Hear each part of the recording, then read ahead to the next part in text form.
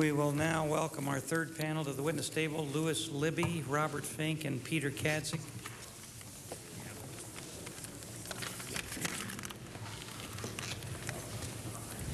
And I doubt seriously if we're going to be here anywhere near as long as we have with the first two panels.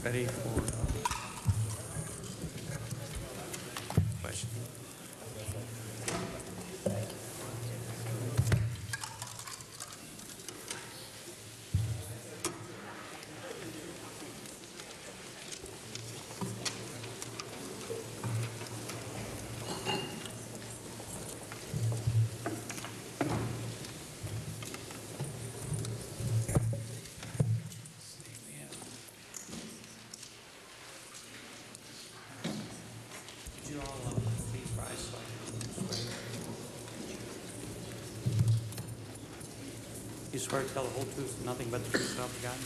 I do. Be seated. Do any of you have an opening statement? I have no opening statement. I'd be pleased to answer the committee's questions. Okay.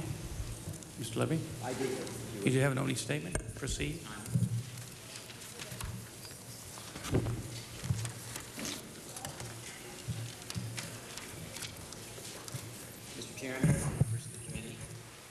Would you pull the mic closer and uh, could you, maybe it's not turned on.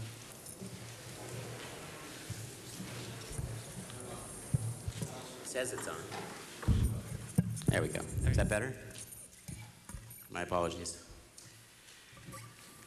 Mr. Chairman, members of the committee, once again, uh, pursuant to the committee's request, I welcome the opportunity to provide whatever useful information I can about my knowledge of the Marc Rich matter.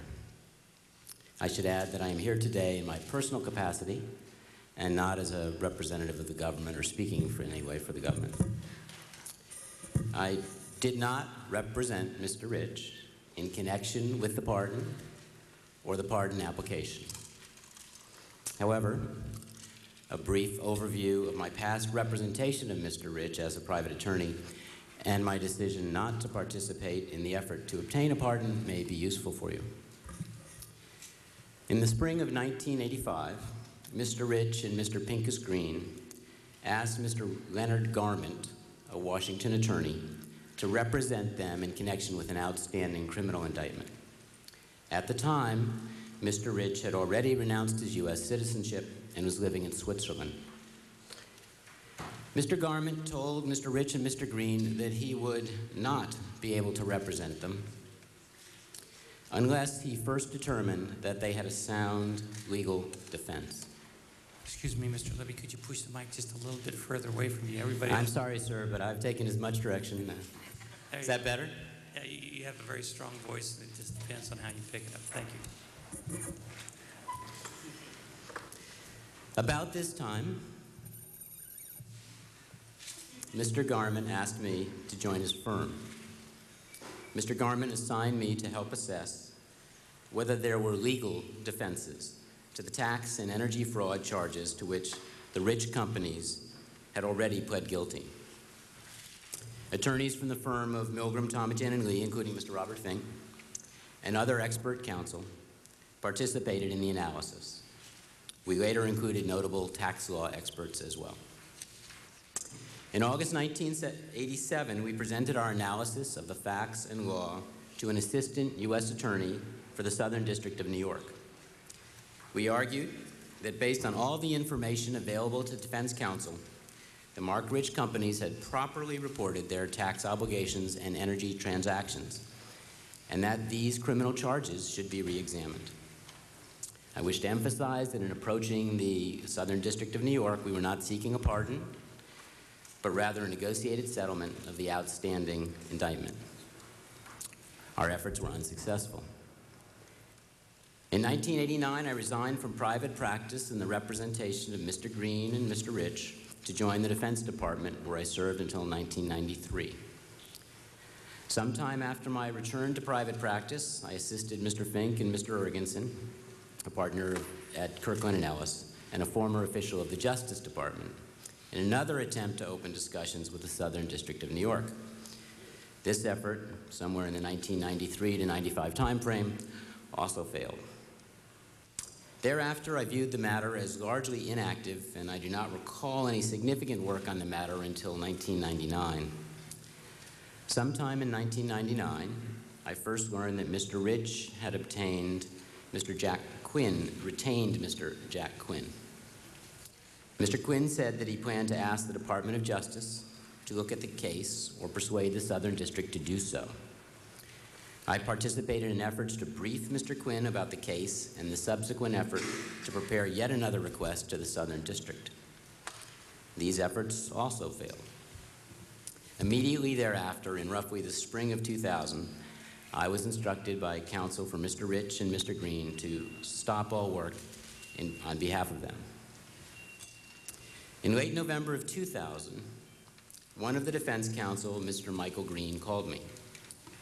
Michael Green said that the defense team was planning to approach the White House for a pardon.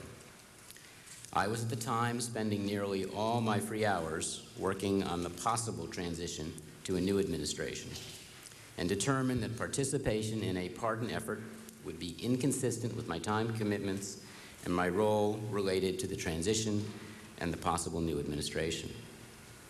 I informed Mr. Green that I would not participate in an effort to obtain a pardon.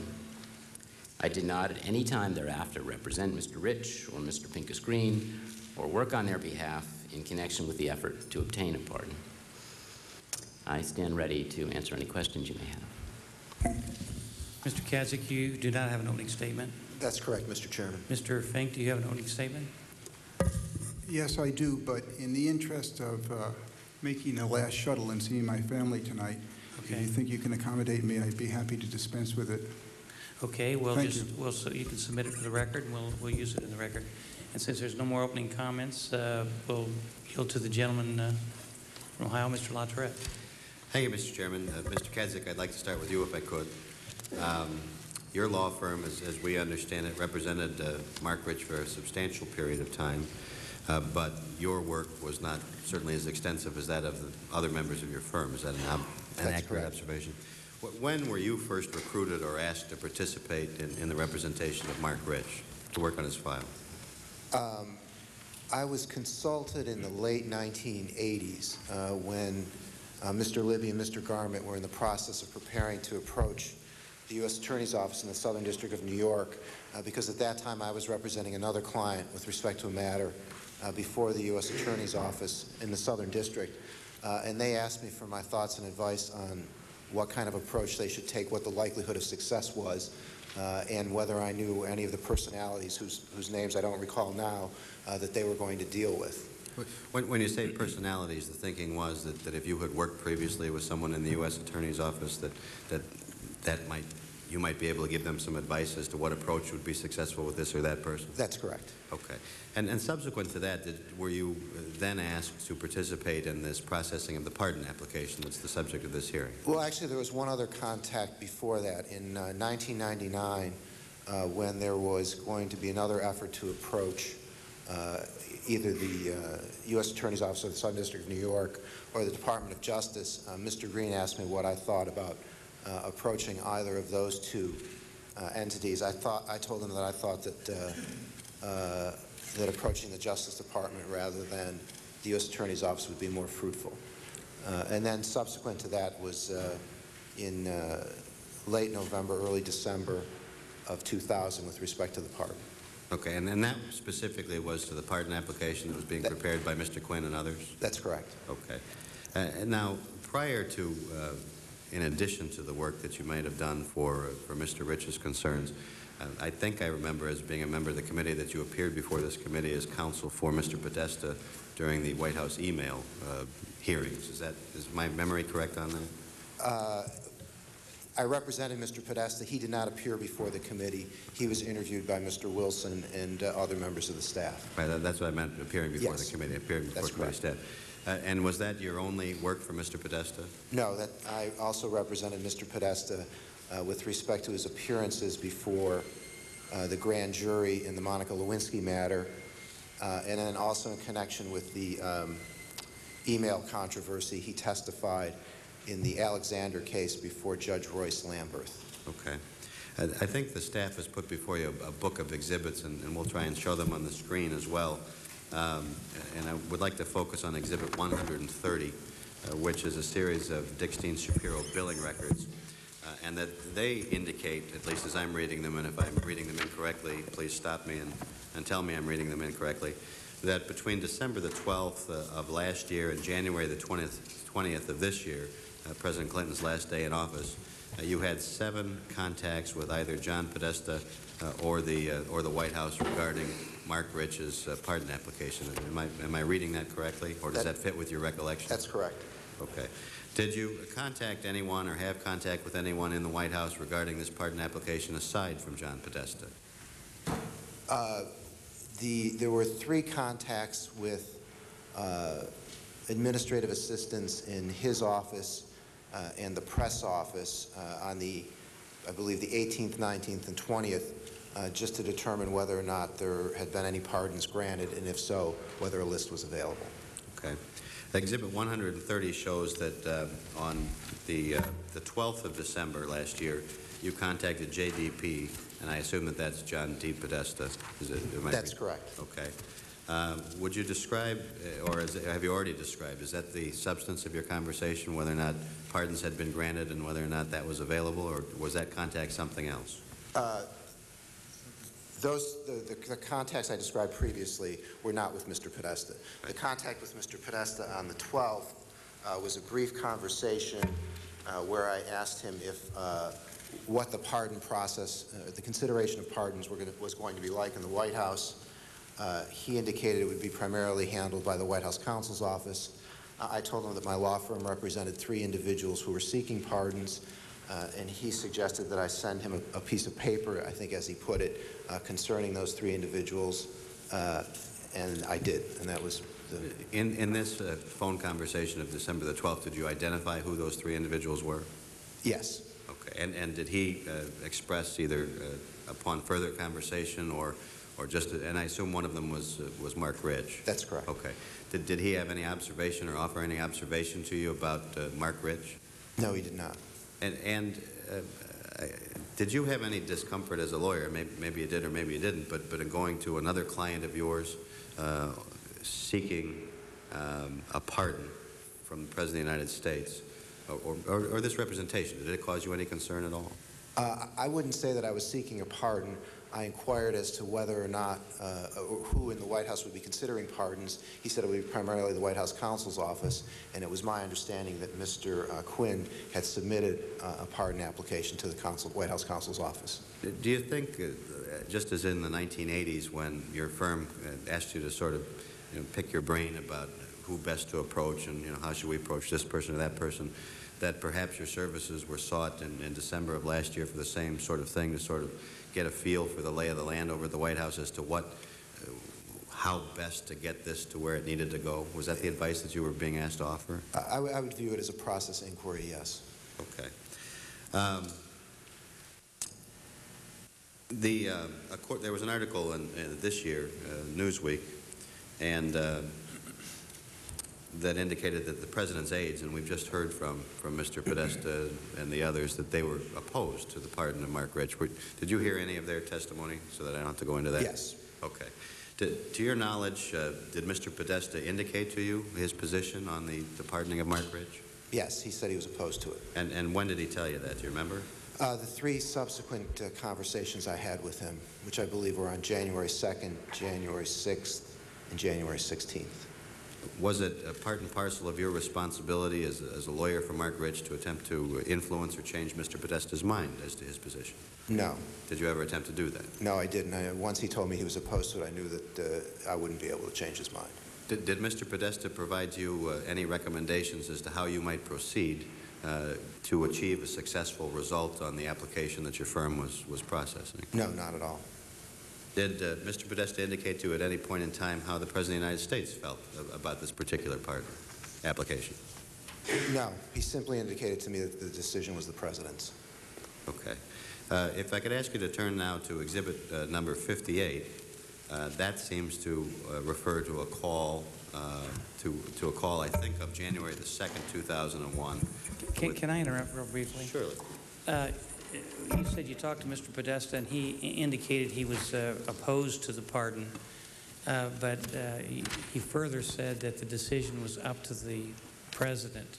Did he indicate in any way uh, what his recommendation was going to be to the president, or what, what, what, uh, I mean, it it just seems like that conversation kind of, there's something missing in between. He said he's opposed to it, but he said that decision is going to be left up to the president. That's- Well, I think the, the, the conversation was that he was opposed to the pardon, uh, and that uh, if asked, he was going to say that he was opposed to it.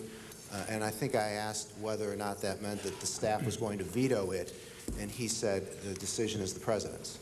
So he didn't elaborate on uh, what the staff might or might not say to the president? No, he did not. Okay, thank you. The, um, again, Exhibit number 58, I'm sorry, I lost my place for just a second. Yes. Exhibit number 58, uh, I I think is a reference to the telephone call that you had with Mr. Podesta on January the 2nd of this year, uh, and it indicates that he told you that the Rich pardon was still in the mix as of, as of that date. Is that- is that, is that a correct reading of that exhibit, and is that your recollection? Um, Yeah, my recollection is that he told me that a decision had not yet been made. Okay. Uh, Did he use the words "in the mix," or is that your description of of what he indicated to you? Uh, I, I don't, he didn't use those words, and I don't think they're mine either. I, I, I assume they're Mr. Fink's. Mr. Finks? Right. Um, Do you, uh, were you unclear at all on this date, January the 2nd, January the 3rd of this year, that Mr. Podesta opposed this pardon application? No, I was, it was perfectly clear to me that he did oppose it. Okay. Uh, Now, exhibit number uh, 62. Um, Did you have a conversation at any time with Mr. Podesta uh, wherein he indicated to you that, that you, and I don't think you personally, but that the Rich Pardon application was benefiting uh, by being under the press radar? No, he did not. And so, again, if, as you look at uh, exhibit number 62, uh, I guess that's Mr. Fink's interpretation again of, of a conversation. Did, did you have a conversation with Mr. Fink regarding uh, what it was you and Mr. Podesta talked about on January the 6th? I've never spoken to Mr. Fink. Okay. Did, do you have any personal knowledge, and I'm, I'm sure we'll ask Mr. Fink in a minute, but do you have any personal knowledge as to where Mr. Fink would get the information necessary to express that opinion? Uh, The only thing that, uh, that I can uh, speculate as to is I I spoke to Mr. Green uh, after I talked to Mr. Podesta. Uh, I said that he was opposed to the, the pardon, as was the staff. Uh, And uh, I think that Mr. Podesta made an, uh, an offhand comment to me that uh, while there was a lot of controversy in the press about other pardons, such as Mr. Milken, uh, there had been no press coverage with respect to um, uh, Mr. Rich or Mr. Green. And, and that was seen as a good thing? It wasn't seen as anything, it was simply a statement of fact. Okay. Uh, Now, exhibit number 67, um, it looks like that this is a a reference to the telephone call that might have taken place between you and Mr. Podesta on January the 16th. Uh, This email in particular states that Mike Green spoke with Peter, who I assume is, who is you, who spoke with Podesta, and that Podesta told Peter that while the staff are not supportive, they are not in the veto mode. Uh, First of all, did Mr. Podesta communicate that to you on January the 16th? No. Uh, Again, again. Again, he told me he was uh, opposed to it, that the staff was opposed to it, but no final decision had been made, and again, the decision was the president's. Uh, Do you have, uh, again, this sort of chain from Mike Green to you to, to the author of exhibit number 67? Do you have any personal knowledge as to how the author of, of exhibit number 67 would, reach the conclusion that the staff was not in the veto mode if that information didn't come from you, who was the person that had the conversation with Mr. Podesta? I, I don't know upon what that was based. I can only uh, speculate that it was because the decision, there was no final decision yet. Okay. At, at any point during the contacts that you had with Mr. Podesta, did he identify uh, why it was that he was opposed to the Rich pardon, or what concerns that the White House counsel's office had concerning this application? No, we didn't discuss the merits of it in detail at all. Okay. Uh, The final two pages uh, of of entries um, on Exhibit 130 indicate that that you continued to have uh, teleconferences with former White House staff uh, after the granting of the pardon uh, on the 19th or 20th of January, and I'll let you flip to those. You continued to have uh, teleconferences with former White House staff uh, after the granting of the pardon uh, on the 19th or 20th of January, and I'll let you flip to those, and and then I have a couple of questions. We're in Jan, yes, I've got. Okay. And, and you see those entries? Yes, I do. Uh, Who were you talking to uh, during, during that period of time after the granting of the pardon? Um, My recollection was that uh, I received um, telephone calls from uh, Karen Tramontano, the uh, the former president's current chief of staff, and uh, someone from the press office, I don't recall whom, um, asking me if I'd be willing to do um, press appearances uh, in defense of the president's decisions with respect to the pardons. Uh, And I told them that given the fact that uh, my firm represented uh, Mr. Rich, that I wouldn't be certainly seen as a neutral observer and that I wasn't the best person to do that. And, and was that, is that the sum and substance of all of the context that are Yes. referenced in that billing Yes. statement? Okay. Mr. Chairman, how much time do I have? Because I, I, I want to ask Mr. Kadzik. Good. Well, I, I don't care. I mean, I'll stop whenever you want me to, but I, I, I- would like to ask Mr. Kadzik one, one more question, because it- when, at the beginning of the hearing, uh, Mr. Waxman in his opening remarks talked about how you got here. And, and uh, I, I think that, uh, you know, obviously, uh, we had an observation on our side about whether you were supposed to be here or not. Mr. Waxman had an observation during his opening remarks. And I, I'd like to invite you to take a couple of minutes and, and express, you know, in your own words, how that occurred, and so we can get that out of the way and, uh, and go from, if you'd like to. If you don't want to, that's fine with me, too. I- I I received a letter from the committee on on Monday, uh, the 26th, uh, asking me to appear, uh, and I responded on Tuesday saying that I had previous business commitments in California on Thursday. I I was in my office until after 9 o'clock on Tuesday night. I heard nothing further, uh, so I went forward with my plans to go to California on Wednesday. Uh, When I got off the airplane in California on Wednesday, I was met by a U.S. Marshal served me with a subpoena. Uh, I promptly turned around, went back to the counter, and uh, booked myself on the exact same airplane that I flew out on to fly back on, and spent less than 45 minutes in San Francisco in order to come back here today. And I'm now scheduled to go back to San Francisco at 9:50 this evening in order to make the second of the, the two meetings that I had planned. Okay, thank you. Uh, You're welcome. If it's uh, still my opportunity to talk, I- I, uh, I'd like to talk to you for a minute, Mr. Fink. Sure. Uh, Mr. Fink, how how long have you known or or been associated or represented uh, Mark Rich? Two decades. Two decades? Uh, Exactly 20 years, or is that a, Mr. Fink, would you pull the mic just a little bit closer? Thank you. Uh, It could be 20 and a half, 21, it's around two decades. okay. Did did you do work for Mr. Rich when you were associated with the law firm of uh, Milgrim, Thomajan, and I hope I pronounced that name correctly, and Lee? Yes, I did. And and when would that have been, uh, year-wise? Starting in 1980. We, we had uh, testimony uh, at the last hearing, I think, from the former uh, Assistant United States Attorneys that uh, at some time during the investigation uh, of Mr. Rich, um, there was a, uh, a steamer trunk or multiple steamer trunks that, that uh, were attempted to be taken out of the country on a Swissair flight. Are you familiar with that? uh, Yes, I am. Uh, And is our information correct that it was a paralegal from that firm, Milgrim, Thomajan, and Lee, who was uh, responsible for that activity? The trunks were in the custody of a paralegal from that firm. Okay. Um, At any point in your knowledge, since Mr. uh, Rich left the the country, uh, has he returned to the United States? Not to my knowledge. I, I want to talk now about some conversations that we had with, with Mr. Quinn and a series of emails that, and, and I think we talked a little bit about them with the previous panel, but for your information, it's Exhibit 135. Just a moment, please. Sure.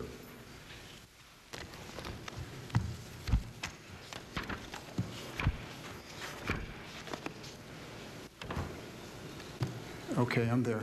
Okay. I, i- is it a, a fair observation that during the course of your representation of, of Mr. Rich on, on this matter, that, that being the, the outstanding criminal indictment, uh, that you have made a number of overtures at, a- at a number of different times, either you or, or people working with you, in an attempt to resolve this in an amicable uh, or less painful way for Mr. Rich? I think that's fair. Okay. Uh, Specifically, the, the emails that occur in, in exhibit number 135 seem to be, I, I have three of them. Uh, The, the one at the bottom, actually, the, the bottom two seem to indicate that uh, in February of, of the year 2000, um, somebody has heard from the Southern District of New York that they're really not interested in sitting down and, and, and discussing this while Mr. Rich remains a fugitive.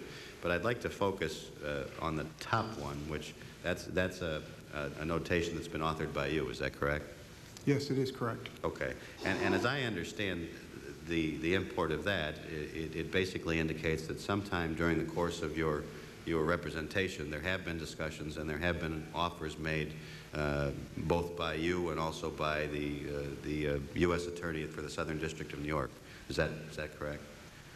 Well, I don't know that I would characterize it as you have. Okay. I would be comfortable saying there were, there were many discussions.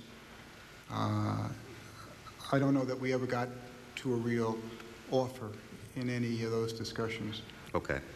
Uh, Specifically, um, there has been testimony before this committee that the, the thing that, that was really the hammer blow, and and some people blamed Rudy Giuliani, some people blamed other people, but the, the thing that really put Mr. Rich to flight uh, was the RICO charge. Do you, do you have that opinion? I, I do not know what put Mr. Rich to flight. To, to use your phrase, I do know that RICO was perceived to be a huge force that affected the case uh, and the outcome of the case. Uh, Looking at one- Exhibit 135, or- or your recollection from the representation of Marc Rich, is it accurate uh, that at one point uh, you were told that uh, the prosecuting authorities would drop the RICO charge uh, if uh, Marc Rich returned to this country? That was something that was discussed with me uh, in at least one meeting I had with the prosecutors. Okay. I- And when you say discussed, I- the specific words in the email was that I was told at one point that they would drop the RICO charge if we wanted Marc to come in. Yes. Were you told that? It wasn't formalized, it was discussed as a possibility. Okay. I perceived it, I perceived it to be a serious possibility. And- But as I understood it, they, the discussion was, if Marc would come in and surrender, Right. we would consider in advance dropping the RICO charge. Okay. And, and likewise, was, was there a consideration in this set of negotiations, or, or you can tell me if it's another one, that bail would be arranged as well as part of this negotiation so that he wouldn't have to remain incarcerated pending the outcome of the criminal proceeding? I think that occurred as part of the same, very same conversation. And, and their condition was that they would like to have his passport so he not leave again if he didn't like the way things were going. Right. Is that right? That's my best recollection of that conversation, which was probably nine years ago. Okay. Uh, It goes on to indicate that they would also meet with the lawyers, uh, the professors, and, and uh, uh, when they say professors, had this report already been done by the professors we've heard so much about that were hired to examine the, the tax uh, intricacies of uh, um, uh, Justice Ginsburg's husband and, and the other, is that the, the professors you, you were talking about? Yes, but I, I think to avoid uh, any misunderstanding that I am now talking about a different conversation. Okay. So, so in one conversation, and, and, well, let's break them down. In one conversation, they said that they would consider dropping the RICO charge, agree to bail if he'd give up his passport and sit down and, and negotiate the case. I- I- I- Did you then have additional discussions where they said they will sit down with the lawyers, the professors, and do a full review p- before proceeding to trial, uh, that they would uh, take a look at the strength of their case and engage in, in further Yeah. discussion with you. But to, to be clear, Sure. There was no discussion about dropping RICO at the time of this second conversation. Okay.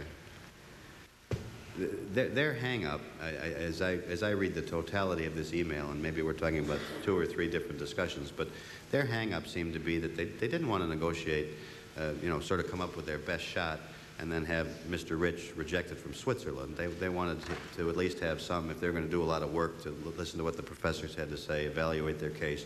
They at least wanted to have some assurance that he was going to submit himself to their jurisdiction, did they not? Now, I think your characterization is reasonable. Their exact characterization is an exhibit to the pardon application. It's one of the letters from the U.S. Attorney's Office. Okay. Um, Did you ever negotiate this case with uh, uh, a fellow by the name of Gerald Lynch when he was in the, uh, the U.S. Attorney's Office? Uh, I would have to say a double negative. No, I- I don't think I ever negotiated this case with anybody, and I do not believe I I have ever met Mr. Lynch. And, and how about Robert Litt? No, I- I'm sure I haven't met him either. I I take that back. To the best of my knowledge. How am I doing? I I haven't met him. I think you're doing fine. I, when, when did you decide to, uh, to engage the services of Jack Quinn uh, in this matter? Uh, In in all fairness, the decision wasn't mine, but that decision was made uh, summer, early summer of 1999. And, and when you say it, it wasn't yours, who, who made the decision, if you know? Uh, Mr. Rich. Uh, Mr. Rich came up with the name of Jack Quinn by No, no, no, no. I I was, maybe I'm being too precise, but I want to be precise here. Uh, The person who decided to engage Mr. Quinn was Mr. Rich. Mr. Rich did not come up with Mr. Quinn's name. Okay. Um, The specific pardon application that brings us here today. Excuse me, if I might interrupt. Oh, sure. Uh, How did he obtain Mr. Quinn's name, and through what source? Through me. Through you? So you, you knew Mr. Quinn from his professional work and his work in the White House? No, I did not.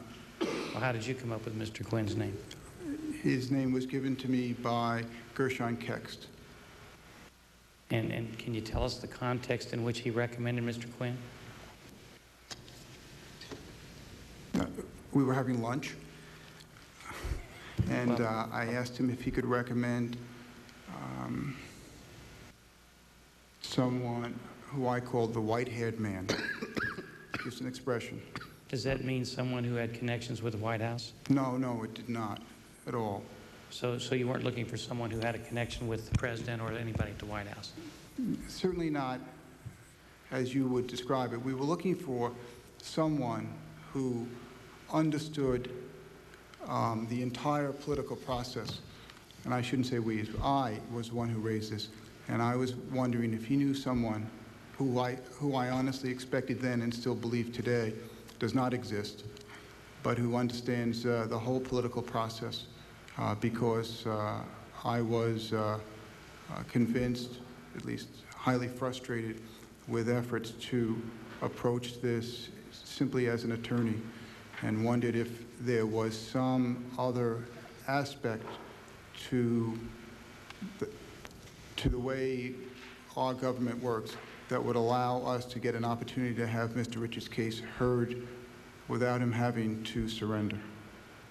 That's, that's, that was my goal in asking that question of Mr. Kekst. That, that was very delicately put, and, and I, I think what that means. Thank you. I it- think it's also accurate. Well, I do too. Okay. Uh, But I, I, I, what, how I interpret it is sort of like Mr. Waxman was indicating before, that, that your best lawyering didn't seem to get the, the job done, and so we need to go uh, another way, and that is to, to find someone who has access to whomever. Well, actually, that is not true. I mean, at least it wasn't in my mind. And I understand that you're going to look at everything I say and all of the emails with the uh, advantage or, in, in my view, disadvantage of all that's happened. But no, I'm, I am, I represented this to you, I'm under oath. I am not Washington wise. Uh, in fact, quite to the contrary. And I was looking for someone who had an overview of the entire political process. I didn't have the White House in mind. I didn't have anything in mind. In fact, you could have read my mind very quickly. Okay. Well, that would have been in 1999 when Mr. Quinn was first retained. Actually, I'm not exactly sure when my conversation with Mr. Kekst was. It could have been late 1988, early 1999. I wasn't fast on this process. There wasn't urgency behind it. Mr. Quinn testified before the committee that, that, in fact, he wasn't first retained to work on a part, and he was worked to retain, retained to work on the case. But when would you say that the, the focus of the representation of, of Marc Rich before the government shifted to the notion of a pardon? In October 2000. Okay. And uh, did you ever have any contact with the White House, the White House staff, the White House counsel's office on behalf of this pardon application, or was that left to others? That is a multifaceted question, And I... break it up I and think- answer it I think the answers to each and every one of them is no. Okay. There was a, uh, uh, an agenda set for a meeting um, on the, uh, the uh, Rich pardon, and it's exhibit number 79, if you want to take a minute to explain that. If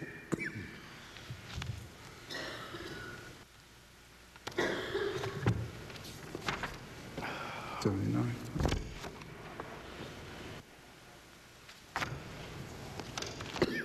I'm there. Okay? That, uh, among other things, item 5A on the agenda is the need for secrecy. You you see- you see that? Five A? Right, 5A? Yes, I see it. Okay. Uh, Were you at that meeting on November the 21st? Well, respectfully, I, I prepared this agenda in anticipation of a meeting that was supposed to occur on November 21st. I mean, I... Okay. I- Well, This meeting didn't occur. Okay. But, but you prepared exhibit number 79? Yes, I did. And- And in preparing for a meeting that didn't occur, your thought was to have 5A, need for secrecy. That was your, your thought as one of the items that should be discussed at a meeting should it occur? Yes, I definitely wanted to discuss that at this meeting, which didn't occur, but if it had, I would have raised it. Okay. C- c- Can you tell us or, or explain what, what it is that you meant by need for secrecy during the course of a meeting on the Marc Rich pardon? Well, I can give you my best guess. It's- Recollections are- aren't that easy to come by for me. But my best guess, and I, I I believe this is a reasonably good guess because I would, would have felt this way, is that Marc Rich has been victimized by the press and publicity, and that uh, if uh, the press learned about this, that victimization would continue. Did, did you have a similar concern, um, and it goes to, to another email that we talked about with other witnesses about benefiting by being under the press radar, which I think ties into what you just said, but was there a concern among your group that not only would the press find out, but that the, the uh, U.S. Attorney for the Southern District of New York would find out what you all were up to? Can I pause? You- you can do the- the whatever you want. questions? No, I just want to be good here. Uh, I don't believe I wrote any email about Mr. Podesta's suggestion about being under the radar. Okay. Uh, I'll volunteer, sorry, that, that I don't remember that, such a conversation. And as to your second question, uh, no, this was about press publicity. Okay. Only. I- You don't recall any discussion, and Mr., and the reason I ask you, I- I'm not a tricky guy, the reason I ask you, when Mr. No, Quinn was... fine. When I'm Mr. Quinn was here before, uh, he, he indicated that he would rather have the uh, advice given or the, the, the okay given or the whatever given by uh, Justice Washington as opposed to Justice Southern District of New York. And he sort of indicated that, that uh, there was a discussion or a feeling that maybe we don't need to tell Mary Jo White and her folks what we're up to, uh, and we'll just leave it to, you know, Janet Reno and Eric Holder and the folks in, in, in Washington. Did, do you remember any of that? I remember being of similar mind. Okay. I mean, it would be, it would have been my preference that I had some power Right. to uh, at least have the issue start in Justice Department. But in fairness, you know, we're talking about this now after the pardon application and, and the pardon being granted.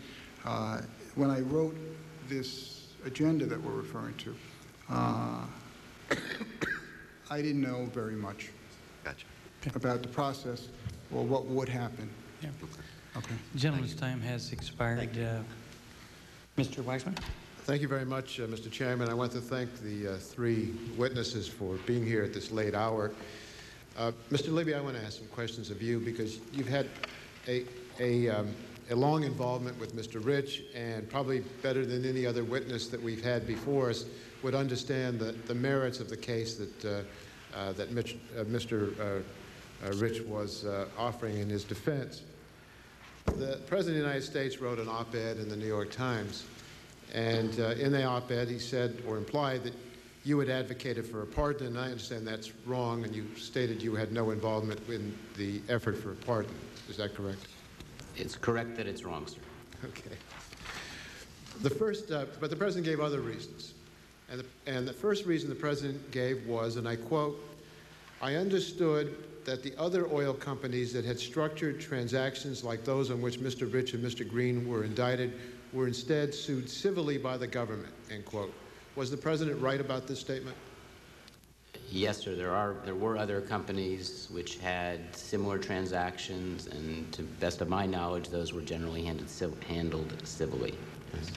Second reason the president gave was, and then I quote again from him, I was informed that in 1985, in a related case against a trading partner of Mr. Rich and Mr. Green, the Energy Department, which was responsible for enforcing the governing law, found that the manner in which the Rich Green companies had accounted for these transac- transactions was proper, end quote. Was the president uh, right about this statement? Um, yes, sir. I believe he was. That would be the ARCO proposed remedial order issued by the Department of Energy. The third reason the president gave was, quote, two highly regarded tax experts, Bernard Wolfman of Harvard Law School and Martin Ginsburg of Georgetown University Law Center, reviewed the transactions in question and concluded that the companies were correct in their U.S. income tax treatment of all of the items in question and that there was no unreported federal income or additional tax liability attributable to any of the challenged transactions, end quote. Was the president correct about this? Uh, yes, sir.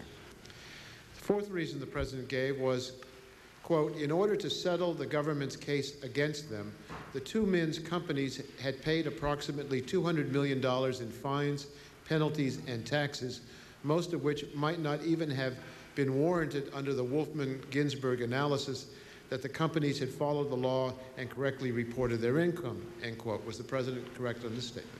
Yes, sir. The fifth reason the president gave was, quote, the Justice Department in 1989 rejected the use of racketeering statutes in tax cases like this one, end quote. Was the president right about this? That's my understanding of the Justice Department manual. Well, Mr. Libby, it appears that you agree with most of the points that the president made. Uh, let me ask you the bottom line question. President Clinton apparently concluded that Mr. Rich had not committed the crimes he had been accused of. Do you agree with this? Do you think that uh, Mr. Rich is a tax fraud and a criminal, or do you agree with President Clinton's assessment of the merits of the case? I believe, sir, that based on all of the evidence available to defense counsel,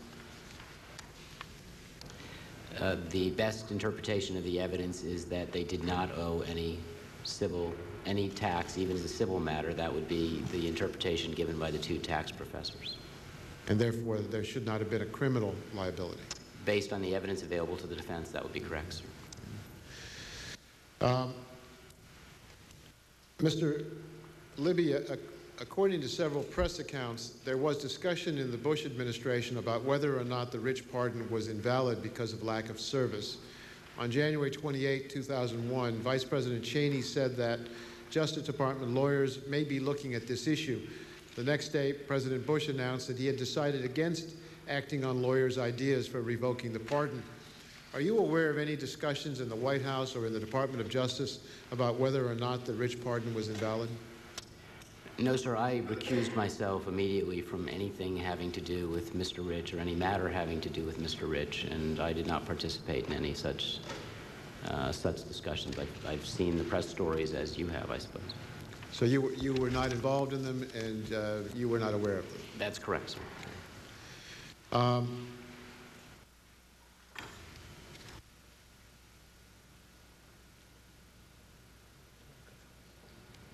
Mr. Libby, I believe I asked you earlier when you concluded your uh, representation of Mr. Rich. Uh, I think you testified that was, t- tell me again, when did you end your representation of Mr. Rich?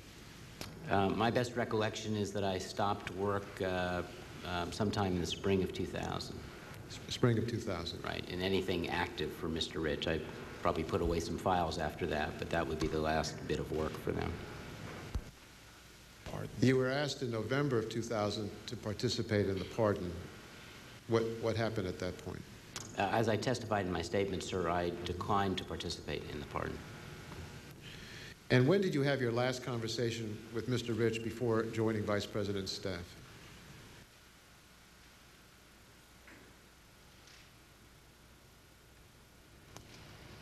Um, it, I am not really sure. 1999, 2000, something like that.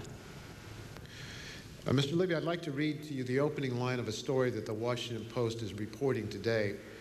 A top aide to Marc Rich alluded more than a year ago to seeking a presidential pardon for the fugitive financier in correspondence with Rich's attorneys, calling it the unconventional approach which has not been tried and which I have been proposing all along, according to one of uh, dozens of documents made public today. Uh, the email that the Post quotes was written on February 10, 2000. It's Exhibit uh, 135 in the book in, in front of you. Um, Mr. Libby, were you representing Mr. Rich at the time that email was written? February 2000. February 2000. Uh, it was still during the course of our efforts with the Southern District of New York, sir. Are you familiar with the unconventional approach that the email refers to? Um, It, it's uh, uh, e- Exhibit 135. 33, That's 133. fine.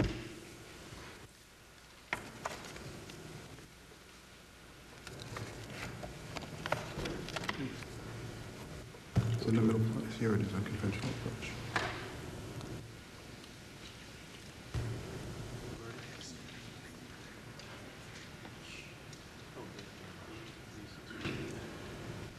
I don't believe I've ever seen this email before, sir, and I don't know particularly what it's speaking about.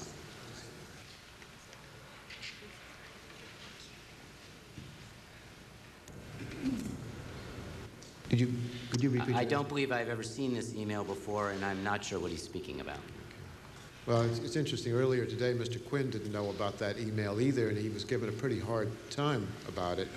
And I guess the conclusion think I can reach is that even if you're a lawyer, you may not be familiar with this particular email, and that's your, your testimony. It was his testimony. Yes, sir. Um,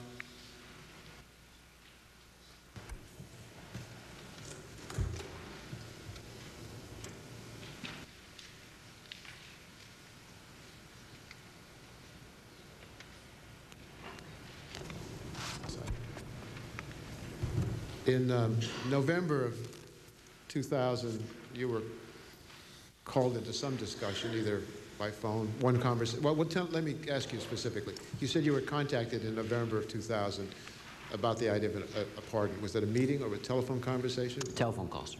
And that was a telephone conversation between you and who else? Uh, Mr. Michael Green, as I mentioned in my opening statement. And did he discuss uh, the grounds for the pardon or the strategy for the pardon? No, sir. Uh, what did he tell you? He told me that it was a confused conversation because I didn't quite understand what he was talking about at first, and then um, he said that they were going for a pardon, going to the White House for a pardon, something like that. Uh, and I said that I could not participate in that. Um, let me take you back to the administration of former President Bush. Was there any effort at that time to get a pardon for Mr. Rich? Um, not that I recall, sir. And if I asked you, asked you whether you contacted anybody who was part of the Bush administration to advocate the pardon, your answer would be Not that I recall. that you recall. Mr. Libby, according to press reports, you called Mr. Rich on January 22nd of this year. Is that accurate? That's correct, sir. Uh, I believe it January 22nd is right. And where were you when you called him? At home? And uh, why did you call him? He had spoken to Mr. Green, uh, who's a good friend of mine, and he had told Mr. Green that he thanked Mr. Green for all the work Mr. Green had done on his case over the years, uh, and that he also wished to thank me for the work I had done prior to the pardon in, on his matters over the years. Uh, but that he didn't know if it would be okay for him to call me. He did not want to get me in any trouble calling me. And so I uh, thanked Mr. Green for telling me that, and I said I would call Mr. Rich to say it was okay, and I called Mr. Rich, and he thanked me for my work on the case, and I congratulated him on having reached a result that he had sought for a long time. Have you had any other contact with Mr. Rich since you've joined Vice President Cheney's staff? No. Have you had any contact with Mr. Rich's attorneys since joining Vice President Cheney's staff? Uh, Mr. Green is a good friend of mine, and I've had contact with him. And what kind of contact have you had with him? Uh, well, he and his wife were good enough to take our kids to the inaugural parade, um, which in a rainstorm was an act of heroism by his, on his part. And we met up with him there and uh, watched the parade together. Uh, I showed him my office, you know, social contact. of Social that sort. contact, not, not about Mr. Rich. Well, he told me that they had received the uh, uh, pardon. He showed me a list from the internet, things like that, but no substance about it. Since joining Vice President Cheney's staff, have you had any conversations with anybody within the administration about the Marc Rich matter? Uh, yes, sir. Could you tell us about that? Yes, I, uh, as soon as this became public, I went to the general counsel for the vice president and told him that I had about my representation in the past and that I was recusing myself to anything that might come up about it. I subsequently went to the president's general counsel, told him about my participation in it, and uh, said I was recusing myself. And I went to the uh, dep- my deputy to be sure that he would know in case there was any paper flow that I shouldn't see to say I was recusing myself from anything having to do with the Marc Rich matter. Um, people in the corridor have expressed uh, regret that I had to come up here and testify, and I suppose that qualifies as being about the Marc Rich matter. Well, I appreciate that, and let me commend you, because I think you took the absolute the correct uh, response uh, in joining the government to recuse yourself on this matter. Well, thank you, sir. Um, Since joining Vice President Cheney's staff, have you had any conversations with anybody outside the administration about the Marc Rich matter?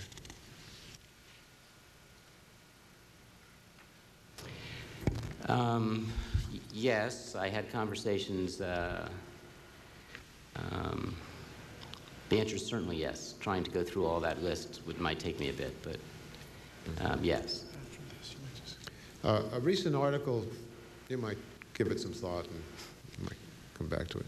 A recent article in the New Yorker discusses uh, several attorneys that Mr. Rich hired to advocate his case. And according to this article, uh, Leonard Garment, former White House counsel in the Nixon administration, said the following about President Clinton's pardon of Marc Rich, quote, I don't know why he did it, but I think Clinton did the right thing, end quote. Mr. Libby, do you believe that Mr. Rich should have been granted a pardon? Uh, Sir, I have recused myself, as I mentioned, from anything having to do with the, uh, with the Marc Rich case and from any communication with anybody on the White House staff directly or indirectly about whether it was a good idea or a bad idea.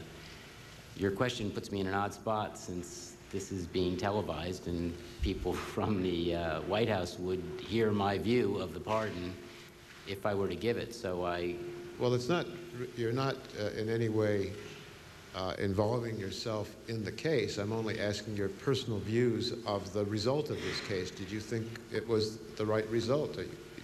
Sir, I would not give that, my personal view of the result to anyone on the White House staff directly or have a conversation in their presence about my view of the result.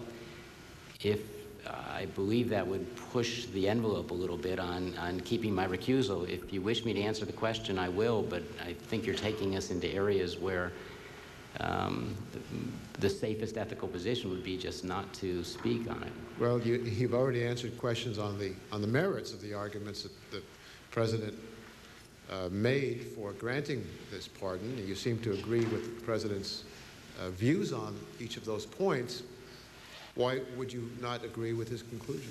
Those were underlying questions, statements about the merits of the case, not about the wisdom or lack of wisdom of the pardon. If you wish me to answer the question, I will, sir.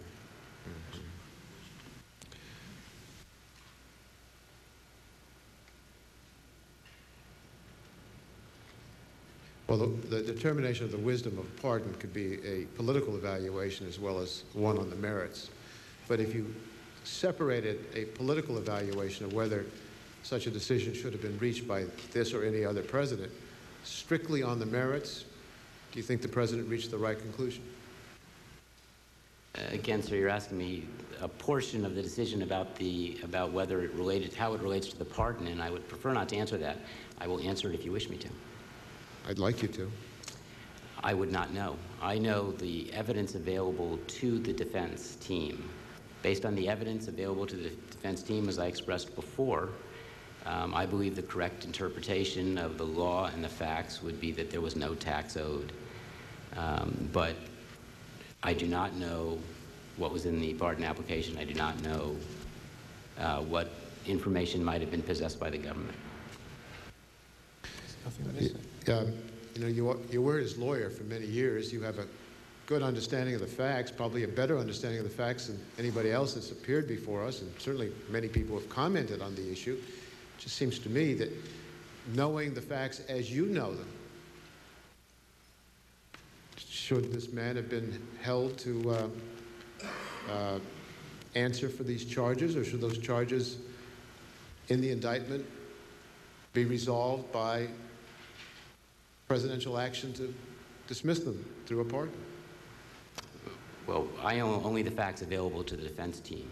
Based on the facts available to the defense team, uh, I believe that the case should have been resolved by the Southern District of New York, listening to our approaches, looking at the facts and evidence, and we would have been done with it back at the Southern District of New York. And that would also mean, based on all the information you know, and only what you know, and you know quite a bit, uh, would that have led you to the conclusion that either the Southern District of New York should have resolved this issue, or failing that, that a presidential pardon resolving the issue was justified? I believe the Southern District of New York should have resolved the issue with us back at that point. Whether a presidential pardon is justified would again depend on what evidence the Southern District of New York might have and what other factors the president might consider in the course of a pardon. The presidential pardon power is virtually unfettered. Gentlemen yield. Mr. Libby, this is a pretty simple question. You were an attorney for Mr. Rich. You helped brief Mr. Quinn. You know all the facts from that side of the case. You're not expected to know the facts of, of the uh, Southern District of New York. You feel that they should have stopped the prosecution because it was unwarranted with the facts you knew, but they didn't. Now, as a lawyer, and prior to your assuming the office of Chief of Staff of the Vice President, are you telling this committee that you don't know whether, with everything that you know and nothing more that you don't know, you have an opinion or not whether or not the pardon should have been issued? Correct, sir. I. And uh, what's that opinion? No, no, correct. I am telling the committee that I don't know whether it should. You have no opinion? I have the opinion based on. Do you have an opinion on this? Well, let's start there. Do you have an opinion? Do I have an opinion as to whether? You, do you have an opinion on whether this pardon was justified under the facts as you know them? Um, Sir, I do not have the, I've never seen the application. I do not have the facts available I'm not asking about the application, Mr. Lee. I'm asking about the facts that you know of your own knowledge as a lawyer representing Mr. Rich over those several years. Do you have an opinion as to whether or not those facts warrant the issue of this pa- pardon? No, That's a simple question. No, no, sir. You have no opinion. I have no opinion because I would not be able to render an opinion without the full record before me. I do not have that record before me. So when you worked on this case with Mr. Quinn, you, you didn't have the facts, you didn't have the information as an attorney? I did not have the facts available to the government, and I did not have the other Nobody materials. has the facts available to the government. I'm not asking you to render an opinion on what facts the government may have. I'm asking you to render an opinion on what facts you have and had at the time. That's very simple. You got to have an opinion, yes? You have an opinion, no. I And you're trying to parcel this down and not give us an opinion. And in fairness, as a lawyer and a member of the bar, and having worked for this client, did you represent a crook that stole money from the United States government, was a fugitive, and should never have been given or granted a pardon by the facts that you know. Is that what we should conclude from your statement? No, sir. I believe on all of the evidence I know that no, no, there was no tax liability. And do you believe as a result, the, the pardon would be warranted insofar as there are no facts that you know of that supports the criminality charged against your former client? There are no facts that I know of that support the, the uh, criminality of the client based on the tax returns So- you've been discussing. So that on all the facts that you know, is the, uh, the pardon issued by the president justified? I don't have the, I cannot say whether the pardon is justified because I don't have those facts in that uh, uh, uh, application before me. Mr. Lee, I'm not asking you to take any other facts than the facts that you have. And we're pretty able up here to understand as a lawyer for a couple of years working for a very wealthy guy, and you come to the conclusion with Harvard law professors and Georgetown law professors about a lot of things. And we're going to accept all of what you know, accept nothing of what anybody else knows because obviously you don't know. We're asking an opinion. I, I, I mean, I like to see a guy hedge, but that's unreasonable. Do you either have an opinion, you don't have an opinion. If you don't have an opinion, tell us you don't have an opinion, and you and therefore your client may have been a crook, should have gone to trial, was a fugitive, or do you have an opinion that he wasn't? Do you have an opinion was he a fugitive? Um, in every common sense term of it, yes, he was a fugitive. Okay. Do you think he was a, a fugitive on justifiable charges, or, were there, or, or was he a fugitive because there was a mistake of the interpretation of law by the Southern District of New York? I believe that the Southern District of New York misconstrued the facts and the law and that looking from all of the evidence available to the defense, he had not uh, violated the tax laws. And was not a fugitive. No, he was, in every, in every common sense term of the word, he was a fugitive. How about in a legal sense? There's this fugitivity statute, which is very complicated. I haven't looked at it in years. It has to do generally with, with uh, avoiding state process. It wasn't state process. Very technical matters. I I don't recall them. It was so many years Well, ago. without knowing all the details, it sounds like you would even dispute whether legally he was a fugitive, even though in the I- common definition of the word he was a fugitive. No, I think, you know, I think you would have to say he's a fugitive, but I don't know what the term, when you say legally, question is what statute or what provision are you talking about? I don't have any of those in front of me. It's been years since I looked at it. I believe he's a, he was a fugitive in any common sense meaning of the term. Let me, uh, before I uh, yield further, of course, you know, you, you not only knew the information as, as a defense lawyer for many years, but you knew everything the prosecutors had to say about uh, Mr. Rich and, and Mr. Green. You, you've heard their arguments. Uh, I assume you also followed the hearing we had three weeks ago because we had the two prosecutors in here. I know you're busy, but you might have read in the newspaper their arguments. Um, you disagree with them, don't you? From everything I know, yes, sir. At the hearing this committee had several weeks ago, there was a considerable discussion about the merits of the Rich case. And I want to read to you some of the statements that were made and ask you about them. Let me read to you what uh, Representative Shays said at the hearing. Quote, there are some who believe, and I am one of them, that former President Clinton appears to have pardoned, have, appears to have pardoned true, two traitors to their country. Do you agree with that statement? Um, as I recall from the snippets I've heard, he was referring to a series of, of uh, trades that they may have made or business engagements they may have had, um, one of which was with Iran, one of which was with Iraq, if I recall, um, South Africa maybe, Russia, something like that. Whatever. Do you think that... Uh, I don't have you- any knowledge about, about any of those other items. The only one that I've heard about was the transaction with uh, Iran, and that was one of the uh, claims in the indictment. Uh-huh. And, well, and you thought the indictment was not prop, was not justified.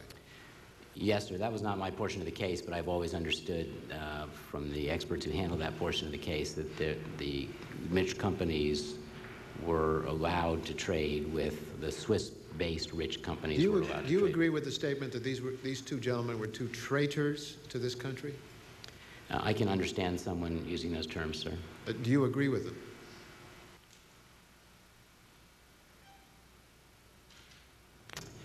Um, They engaged in, their, their companies engaged in trades with Iran. Not- Trade tours, not traders. No, I'm sorry, sorry, I was just trying to finish. In trades with Iran during a period when hostages were held. Uh, And that was, a- that was an act that you could consider an act of a traitor. That somebody else could consider, but you don't consider it. Oh, that I could consider that also, sir. You could. Yes, I, I, I do not condone it, I didn't advise it, um, I don't admire it. At the first committee hearing on this pardon a few weeks ago, two of the former federal prosecutors who pursued Mr. Rich, Morris Weinberg and Martin Auerbach, testified. Mr. Auerbach said the merits in the Rich case were unquestionably in the government's favor. Do you agree with that statement? Not from what I know, sir. In their joint written testimony to the committee, the prosecutors stated that in December 1981, it was apparent that they had uncovered at that time the biggest tax fraud in history. Do you agree with that statement? Not from what I know, sir. Um, I mentioned earlier an analysis done by two distinguished law professors, Bernard Wolfman and Martin Ginsburg, which defended Mr. Rich's companies from charges of tax evasion. Some people have implied that this analysis was flawed because it was based on biased information. Uh, at our last hearing, former prosecutor Martin Auerbach said that the professors admitted, quote, making no independent verification of the facts, but accepting the statements thereof made to us by Mr. Rich and Mr. Green's attorneys, end quote. Mr. Libby, can you tell me where did you get the information for the Wolfman Ginsburg analysis? Where did it come from?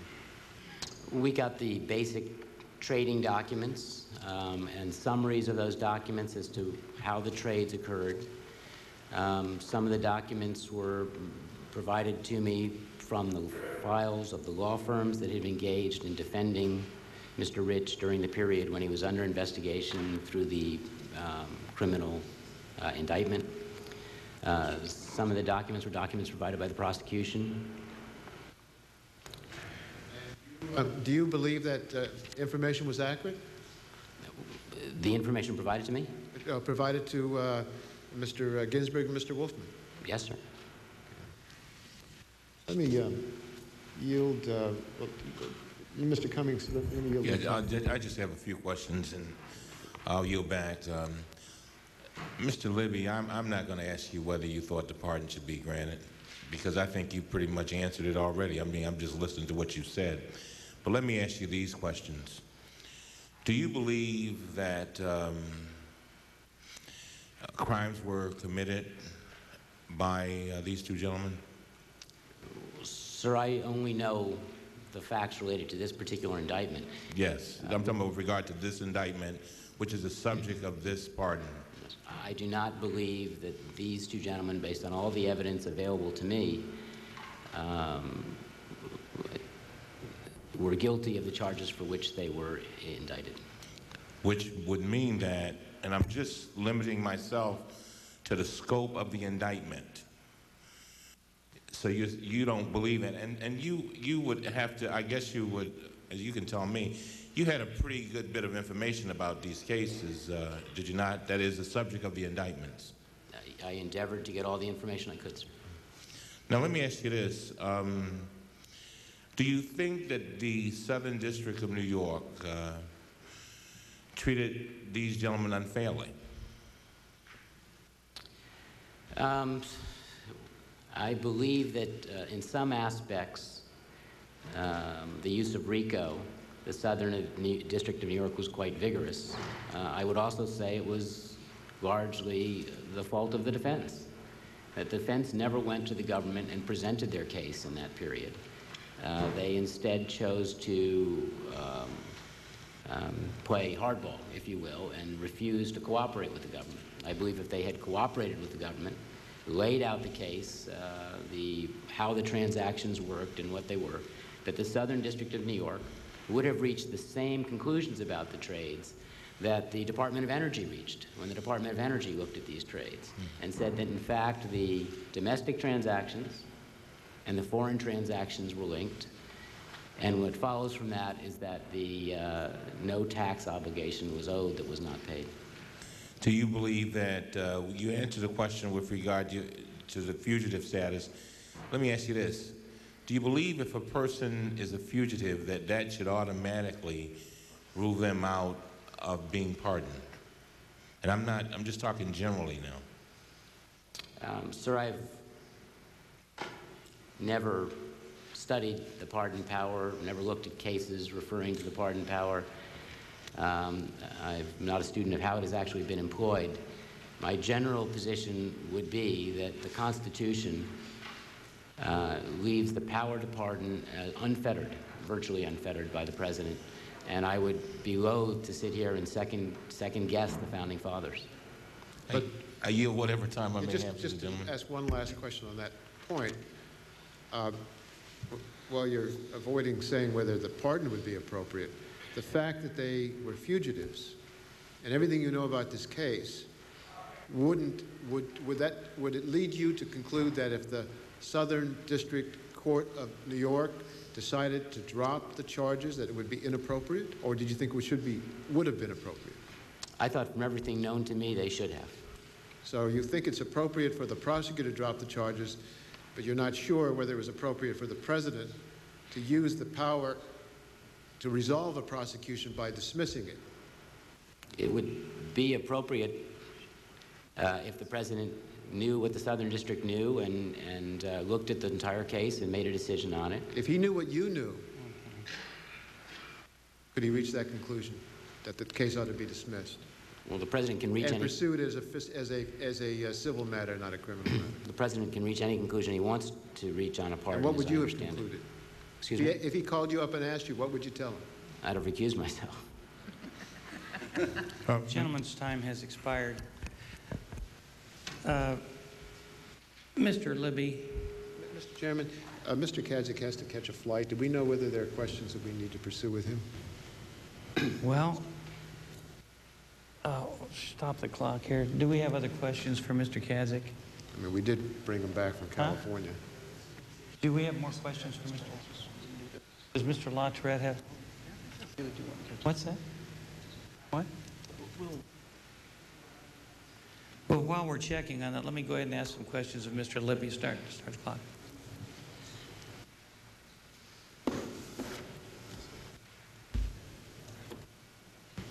Yes. Mr. Libby, did you talk to or have access to the witnesses in the case um, for the prosecution? I do not know who all the witnesses for the prosecution were, sir. I had, op- I had access to some, wi- some witnesses whom the prosecution had interviewed. Okay, well, you start it, start it now. But the fact of the matter is, you only saw the defense side of the equation, isn't that correct? That is correct, sir. I only had the information available to defense counsel.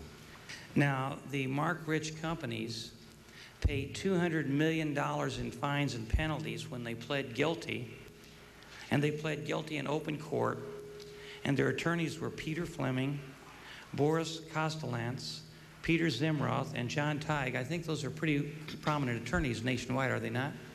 Yes, sir. Do you think that they would plead guilty and pay $200 million fine if they thought they didn't have a problem with the case? I think they would plead guilty, sir, if their, if their clients told them they should plead guilty. I assume their clients at that point felt they wanted to plead guilty. And pay $200 million? And pay 200 million rather than continue the case, yes. So what you're saying is the judgment that you have here that these gentlemen didn't break any laws is your judgment. It may not be uh, the judgment of others who had more knowledge of the case than maybe you did when they had all the prosecuting uh, witnesses before them. That's correct, sir. Okay, well, I think that's very important because my colleagues on the Democrat, excuse me just a minute, my colleagues on the Democrat side who have said that they condemned the president for this pardon have been making the case that the president should have pardoned him. But the fact of the matter is, the gentleman fled the country, was a fugitive for 17 years, paid a $200 million fine, dealt with every enemy of the United States, including those who, who were holding our Americans hostage with the threat of death hanging over their heads. He tried to smuggle documents out of the country that were relevant to the case, and Mr. Fink, one of the uh, interns, I guess, or uh, people associates with one of the firms with which you were working, was involved in trying to help get those out of the country on a Swiss airplane. If I'm correct, am I correct on that? You're correct, but your description is not. Well, were they trying to get the documents out of the country? The documents were on an airplane that was going to Switzerland, but they weren't being smuggled. Well, were they being taken out of the country and were they uh, documents that the government wanted? Yes, Okay, well, that's all I need to know. But the fact of the matter is this. My colleagues can't have it both ways. They can't condemn President Clinton, as they have roundly, for pardoning Marc Rich, and then have you, as the Vice President's chief counsel here, and try to make you justify the pardon. The fact of the matter is that Mr. Rich was a fugitive from justice. He renounced his citizenship and for 17 years has been trying every way he could to get pardoned. Now, you may disagree with, with the outcome, Mr. Libby.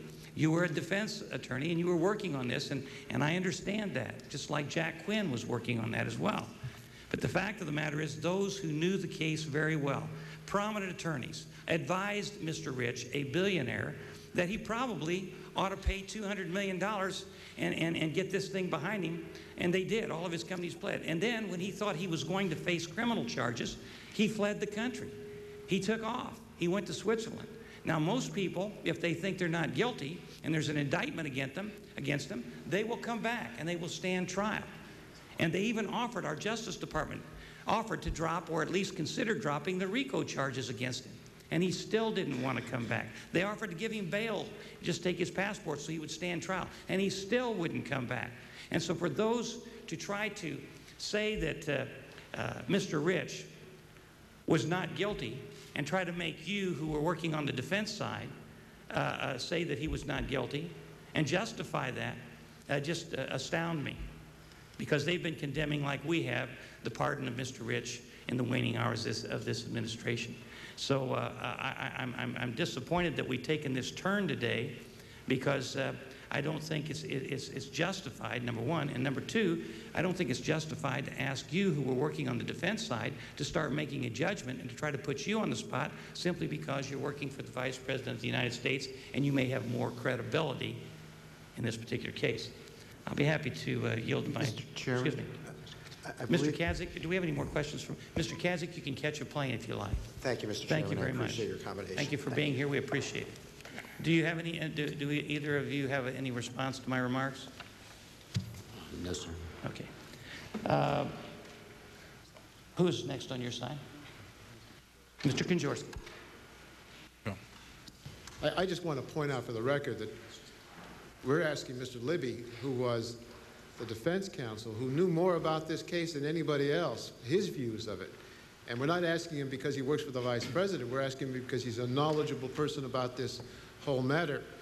And uh, I, I can't understand the, the chairman's uh, outburst about it because Mr. Quinn was, at, was asked these questions over and over again. And I think we're entitled to ask someone who has been uh, the attorney for so many years. Thank you.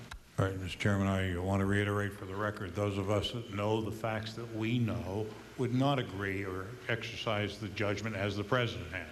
But that's not the questions we're asking Mr. Libby. We're, we have a witness here that is not only an expert, but has probably more information in regard to this case than anybody that's testified before the committee. The- And, and I'm not going to try and, I think in fairness, if you want to express an opinion on the pardon, I'll give you an opportunity to, if you, if you decide you don't want to, Mr. Libby, I won't press that. You'd rather not go further on it than that? Thank you, sir. Okay. But you did say something, and I want to go back. And, and, and let me get this in context now. You represented Mr. Rich for, from what period of time until what period of time?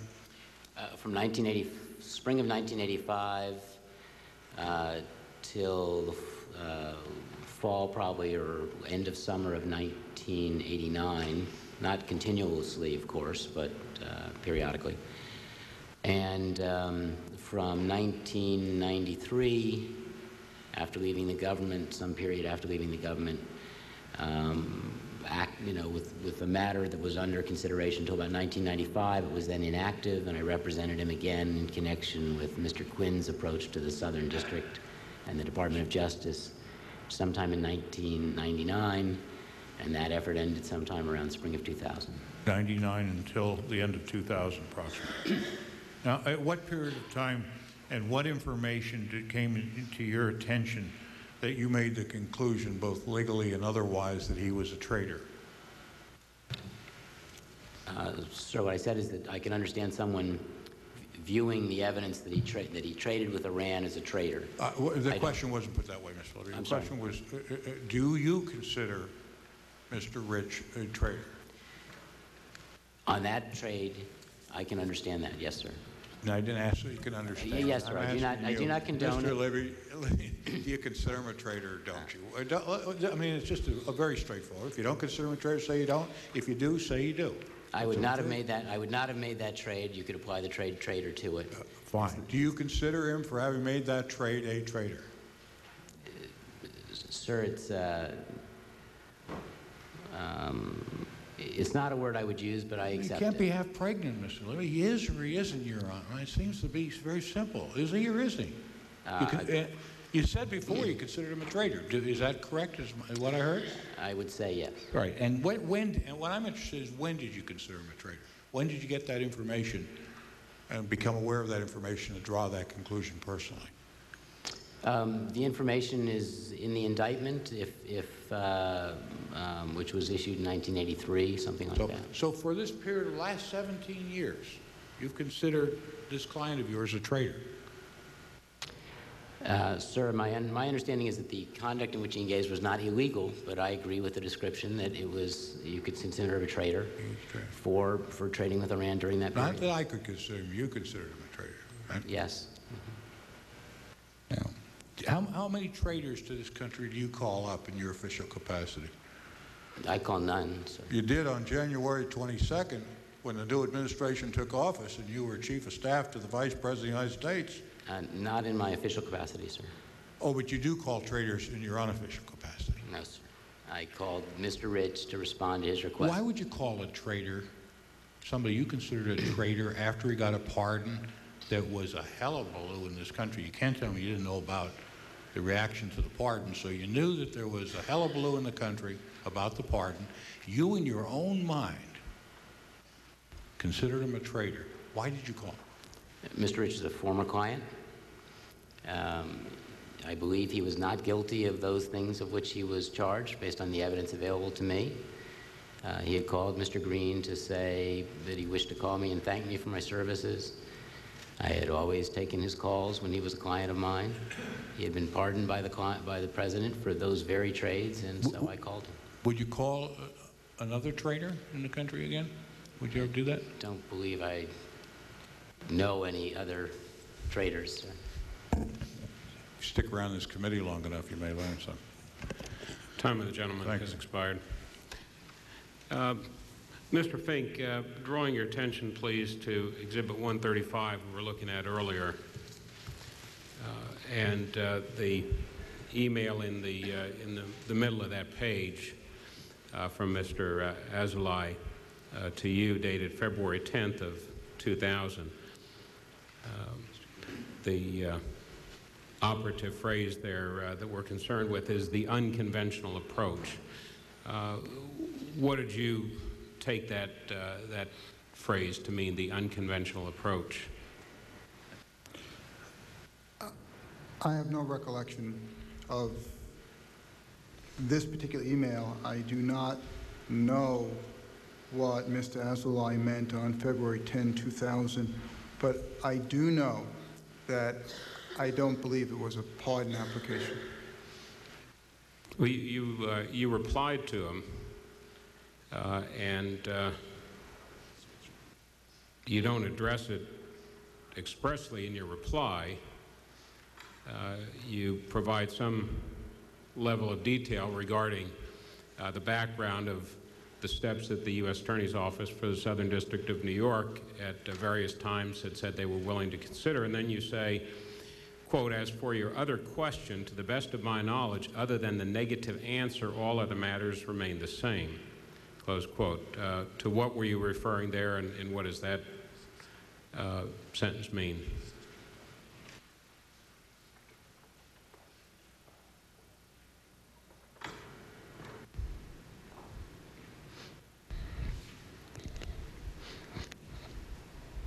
I do not remember.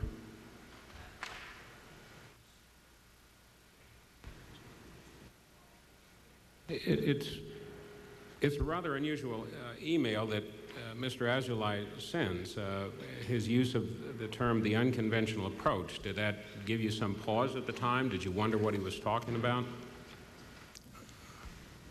I may have actually known what he was talking about at the times. I just do not recall now what he might have been talking about. You, ha- you have no reason to have any thoughts whatsoever or uh, can't draw any conclusion looking at this email as, as you sit there?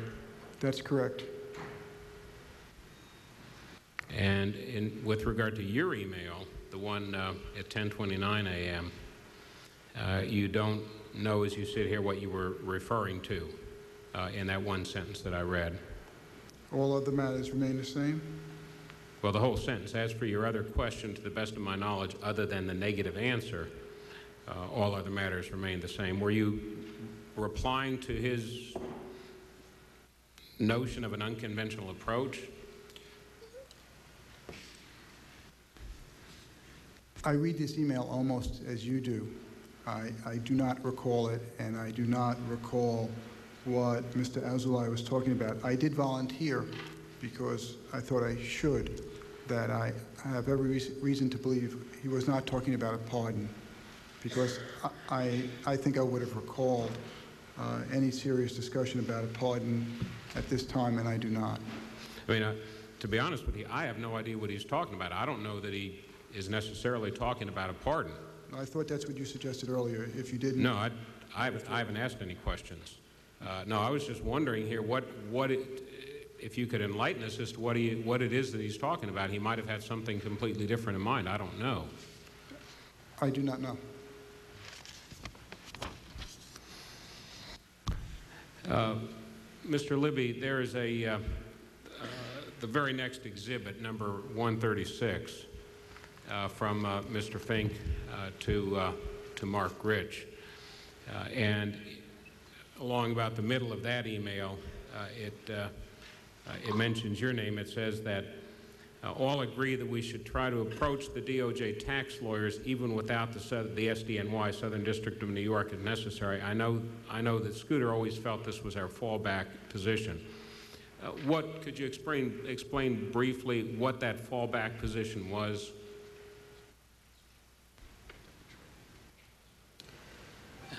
Sir, as I understand it, the Department of Justice has the right to review any decisions made by a, a, a U.S. attorney for any particular district. Um, On tax matters. On tax matters, I think on all matters, but you would have to consult someone who does more of this than I do. Um, my feeling was if the Southern District of New York, well, let me see if I.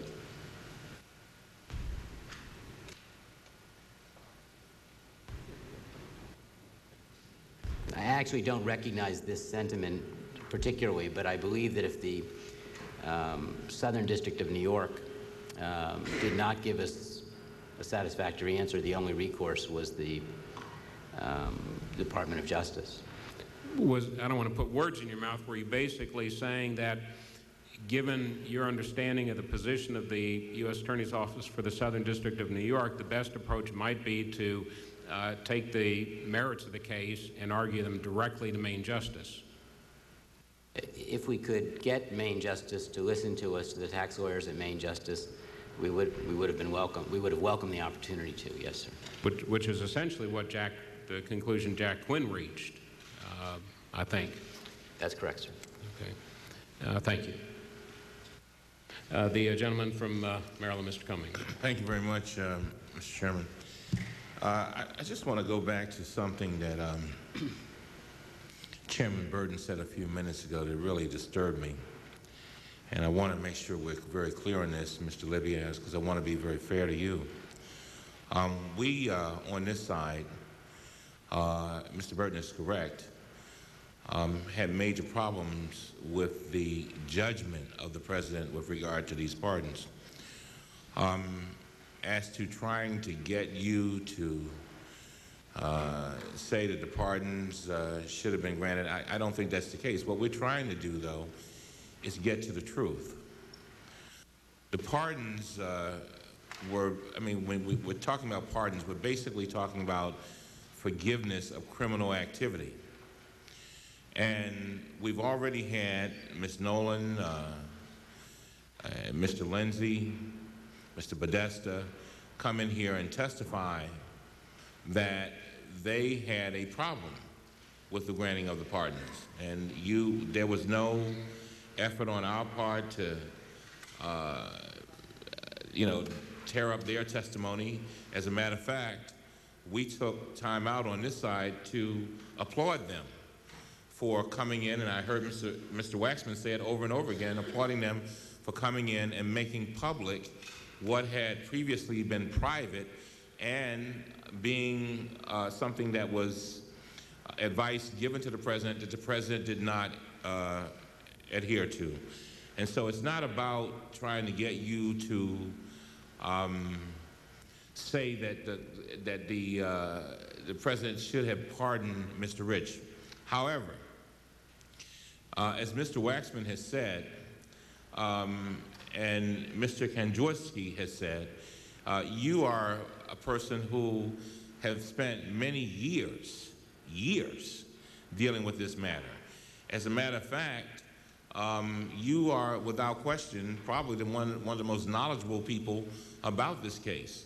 And so it would seem to me, it, it does not matter to me whether you are the chief of staff uh, for Vice President Cheney or not. That's, to me, that's irrelevant. What is relevant, however, is that you have facts with regard to this case. And what, has, what the media has sort of zeroed in on is the whole question of what, if any, justification did the president have for granting these pardons? Um, was it bad judgment? Was there criminal activity? Um, and you have come in and you've said something that's very interesting, and I, will be very frank with you. I, I, I, did not expect it, but I'm, I'm very pleased to hear it, um, that you do not believe that these two gentlemen, the subject, subjects of this pardon situation that we're discussing, um, you do not believe, based upon the information that you have or had, that they've committed any crimes. I mean, that is to me, I, I, I, mean, that to me says a whole lot.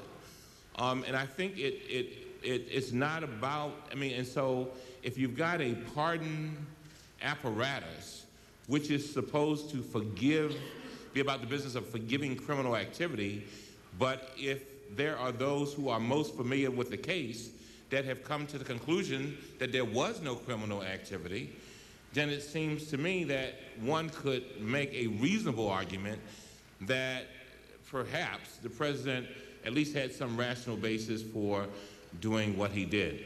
I did hear your testimony uh, with regard to some questions that Mr. Waxman asked you earlier when he went through very carefully uh, the justifications given in uh, the New York Times piece with regard to what President President Clinton's justification for what he did, and it seemed to me, I'm not sure because I was not in, in, in, the room at the moment, but as I listened to it, that you agreed with the very, you agreed with the very uh, various um, uh, points that, that uh, President Clinton made as the basis for his opinion. I'm not, I'm not dealing with whether you agree with whether he should have pardoned, but at least the basis. Is that, was that correct?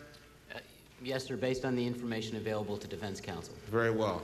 Now let me ask you this. You keep saying that.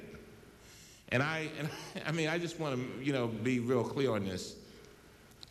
I don't want the public to get the inf information that defense counsel lacks a whole lot of information about a case. Usually you have a pretty good idea of what the other side is presenting, and that's how you prepare your defense. Is that correct? I mean, most times the defense counsel have a pretty good idea of what is going, what is being offered on the other side, and apparently there had been some talk of negotiations, so you had a pretty good idea, would you guess, that, uh, about what the prosecution had? It's very true in civil litigation, sir, that the, the defense usually has a very good idea of what the plaintiff uh, has because civil cases were allowed to discover every bit of relevant right. evidence. As you may know, in criminal cases, the government does not share its cards with the defense. They hold them close to their chest, except for certain things that are required by the court to hand over. We didn't we didn't reach all of the phases of the case that were, that would have been turned over. So I've been very careful, as best I can, sir, to help the committee to say, I do not know what evidence the government may have claimed they had. All I knew was the evidence available to the defense counsel. And Just based one, on, one last question, Mr. Mr. Chairman. Just during the course of, you had dealings with the government, and uh, did you not? I had two meetings with the government in 1987, sir. And during those times, they didn't reveal to you what they had, anything of what they had? No, sir. Uh, they they made some statements. In fact, Mr. Auerbach said to us that there was evidence that we did not know. Very well. Thank you. Thank you. Uh, The uh, gentleman from Connecticut, Mr. Shays, is recognized for five minutes. Thank you, Mr. Libby, and uh, thank you, Mr. Fink. You um, have stayed around a while. It's a late night, and I appreciate it. And I will um, confess, Mr. Libby, that um, this is a little awkward for me because I consider you a person in a very powerful position working for someone I have tremendous respect for, who I consider one of the most powerful people in the United States, and you're before the committee, and thank you for being here. Uh, But what I wrestle with is uh, just not doing what I've been critical of my colleagues on the other side of the aisle for doing, and not, that is not asking the questions you really want to ask of maybe your friends. And I consider you and uh, obviously this administration, um, I hold you up to the highest esteem. But I do want to ask my questions. The first thing I want to say, though, is that um, it's my understanding that you in no way were involved in this pardon process. Correct, sir. And that the purpose for you being invited to this committee was that uh, when you weren't working for the government, you represented Mr. Rich uh, over periods of a number of years. Correct. It's also my understanding that attorneys uh, can represent people, one, they think are guilty, and two, they may not like, but everybody is entitled to their defense. That is correct, sir. Now, uh, it seems to me that, that you have some affection for this client that you had, and you believed in his cause. That is correct, sir. Well, I believe, I believe that all the evidence available to me indicated he was not, um, uh, that he had not, that his companies were not guilty of the crimes for which they had been indicted. Right. They may have been guilty of other crimes, but not these crimes. I only res- represented him with respect to these crimes, Right. sir. Now, Joe Javan, Javanaba, uh, Joe diGenova. diGenova, thank you.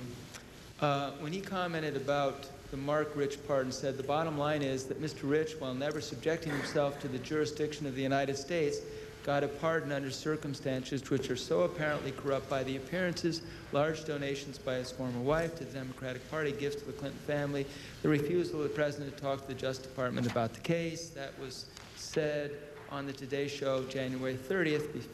He also said that Rich was indicted and he was a fugitive, which makes him a highly unusual case in that it is rare for someone who has sought to evade the criminal justice system by becoming a fugitive to be pardoned. In fact, I think it's unprecedented. That was said in the McLaughlin in June 20, uh, on uh, January 26. He said on McLaughlin on 26, what is striking about the one pardon that didn't happen was the president did not pardon the American spy Jonathan Pollard, who spied for Israel. It is clear that Pollard's people did not give enough money to the DNC of the president and that they had the wrong lawyer, Alan Dershowitz. So that there's a lesson there for people seeking a pardon, hopefully for, from no future president, the way this president uses pardons. Obviously, uh, Joe Javanova believes uh, that uh, this was a pretty sad affair, but he's representing um, Jack Rich, excuse me, he's Jack Quinn, who, um, it's been a long day, who um, is entitled to his defense, and he believes that Jack Quinn had every right to lobby the way he did. What I'm interested in knowing is, would you have ever sought to lobby either this administration or the other administration for a pardon for Jack Rich, for, for Marc Rich? You mean, uh, You didn't seek, you didn't try to, but I'm asking you if you had been paid to do so and you were a private sector, would you have sought to get a pardon for this man? Um, were I not involved in the, in the government and still in private practice, would I have participated in, a, in an attempt to get a pardon for Mr. Rich? Um, quite possibly, uh, if the client wished us to get a pardon, um, and I did not see any problem with it. I don't see any um, technical problem with going for a client if that, if, uh, for a pardon if a client wants to. Let me ask you this. Would you, uh, in your capacity today, uh, advocate, um, first advocate that a pardon be granted without making sure that it had been properly vetted? No, sir. Uh, You would, in other words, make sure that it was properly vetted? Would If- if you're asking me- Properly vetted, you would make sure that... it- I would what- want- What, what, what would, in your judgment, uh, what would that involve? Um, proper vetting by the, by the White House of a pardon Yes, what- application? What would that mean? I assume they should gather all relevant information about the person.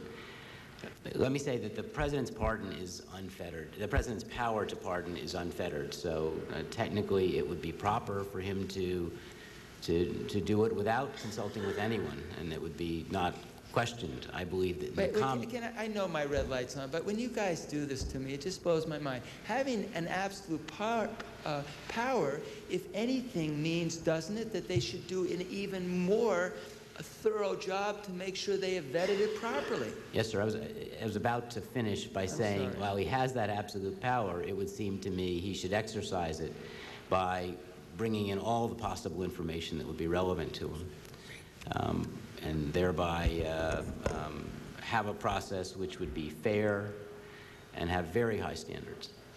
Including, Mr. Chairman, uh, The uh, time of the Time- gentleman time's has expired. expired. Uh, if I might be recognized. The gentleman from. California is Well, recognized for Mr. five Mr. minutes. Libby, uh, you just answered what you would advise if you were advising the administration on how to handle this sort of thing, but you were, for many years, the, the, the counsel for Mr. Rich. And can you tell us how much money you might have received or your firm received in, in that capacity? Uh, I received none. The firm would receive the fees. Um, I don't know offhand how much it would be. Over It 100,000, over 500,000, Oh, over a certainly. million, Certainly, sir. over 2 million? Um, It's probably in that ballpark, um, I would guess. Now, as a good lawyer, That different firms, I, I was in different firms over this period, received in total. but you had Mr. Rich as your client in the different Yes, at the, at the, very yes. Now, uh, as the defense counsel for Mr. Rich, you heard what he had to tell you, but wouldn't you make an investigation what, as to what the, the case might be on the other side to try to prepare for your client's best interest? Certainly, sir. And when, when Mr. uh, uh, Wolfman and Ginsburg had the information before them to make their report, did they get all the documents that they needed to get, in your opinion, to give a sound judgment on their part? All the documents available to us were available to them. Okay. And you think that they had the documents that would have given them the information they needed to reach the conclusions they reached? Yes, they had the information that they needed, um, to the extent that we had it, to make, to reach their conclusions. Uh, Well, a lot of people try to discredit their analysis by saying they didn't have a valuable, they didn't have valuable and accurate uh, analysis of the situation. You, you don't, you're not critical of them. You think that they had Correct. valid I- information. I believe they had the best information that they could have. Okay. And you had the best information you could have, although no one has all the information, but you've uh, told us that based on all the information you had, you didn't think that Mr. Rich was, or his companies were guilty of the crimes for which they were charged.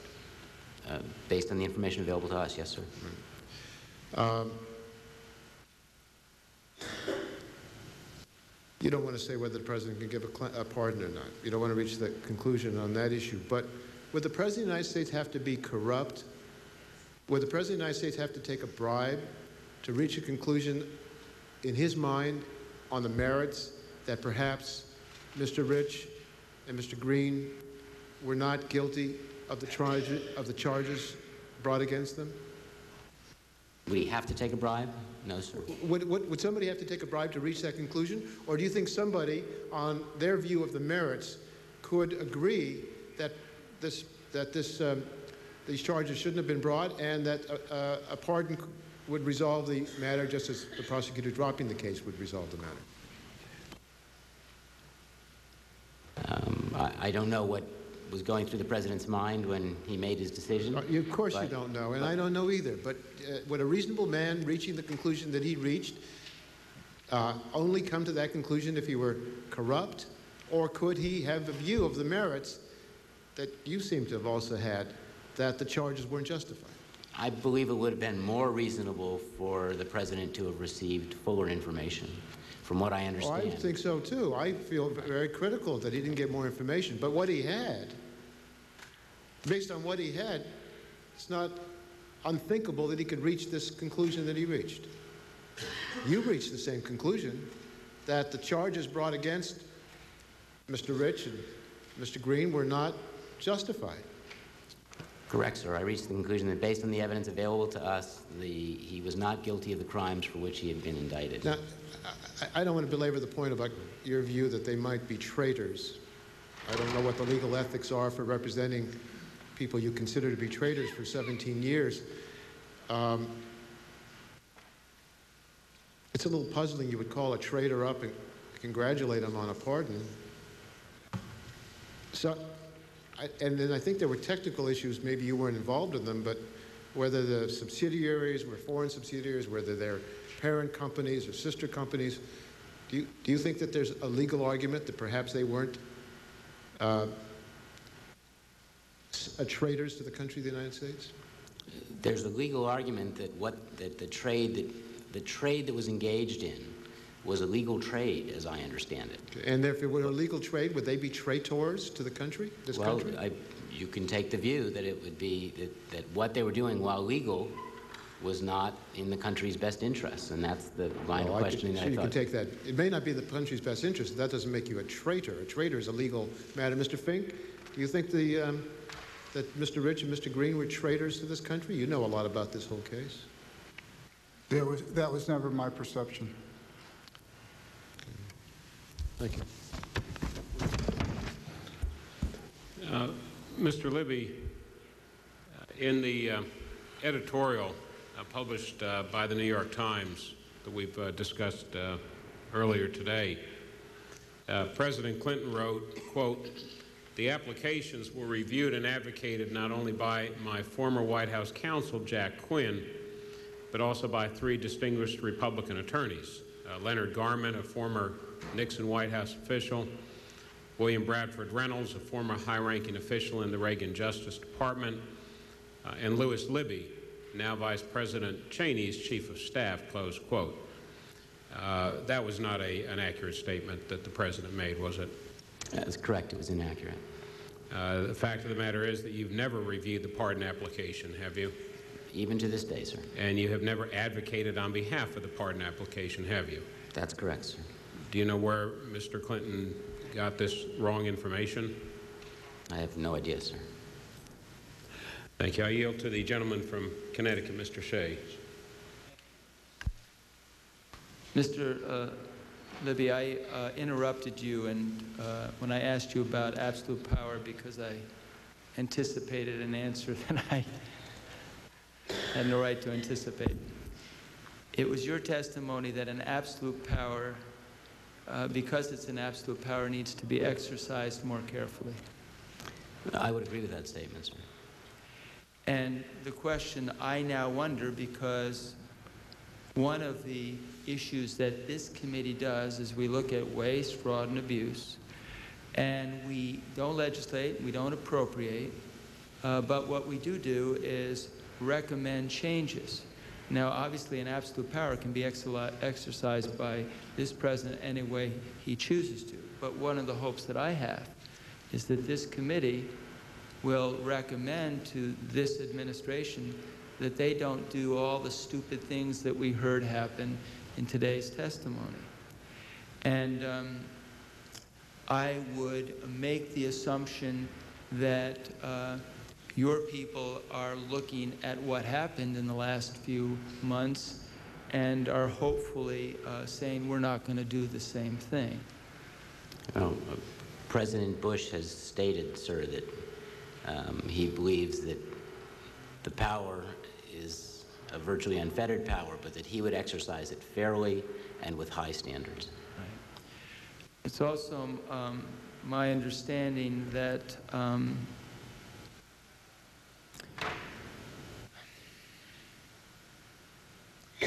that we need to look at the revolving door process. Um, And Mr. Kadzik uh, is an individual who was hired, frankly, to uh, lobby Mr. Podesta. Uh, He knew him, he was a client, Uh, Mr. Podesta was a client, and I'm not trying to say something since he's not here to defend himself. That's pretty much factual, I'll leave it at that.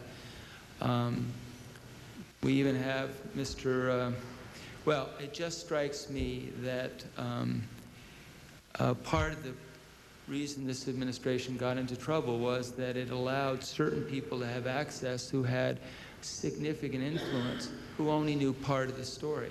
Frankly, Mr. Libby, you only know part of the story.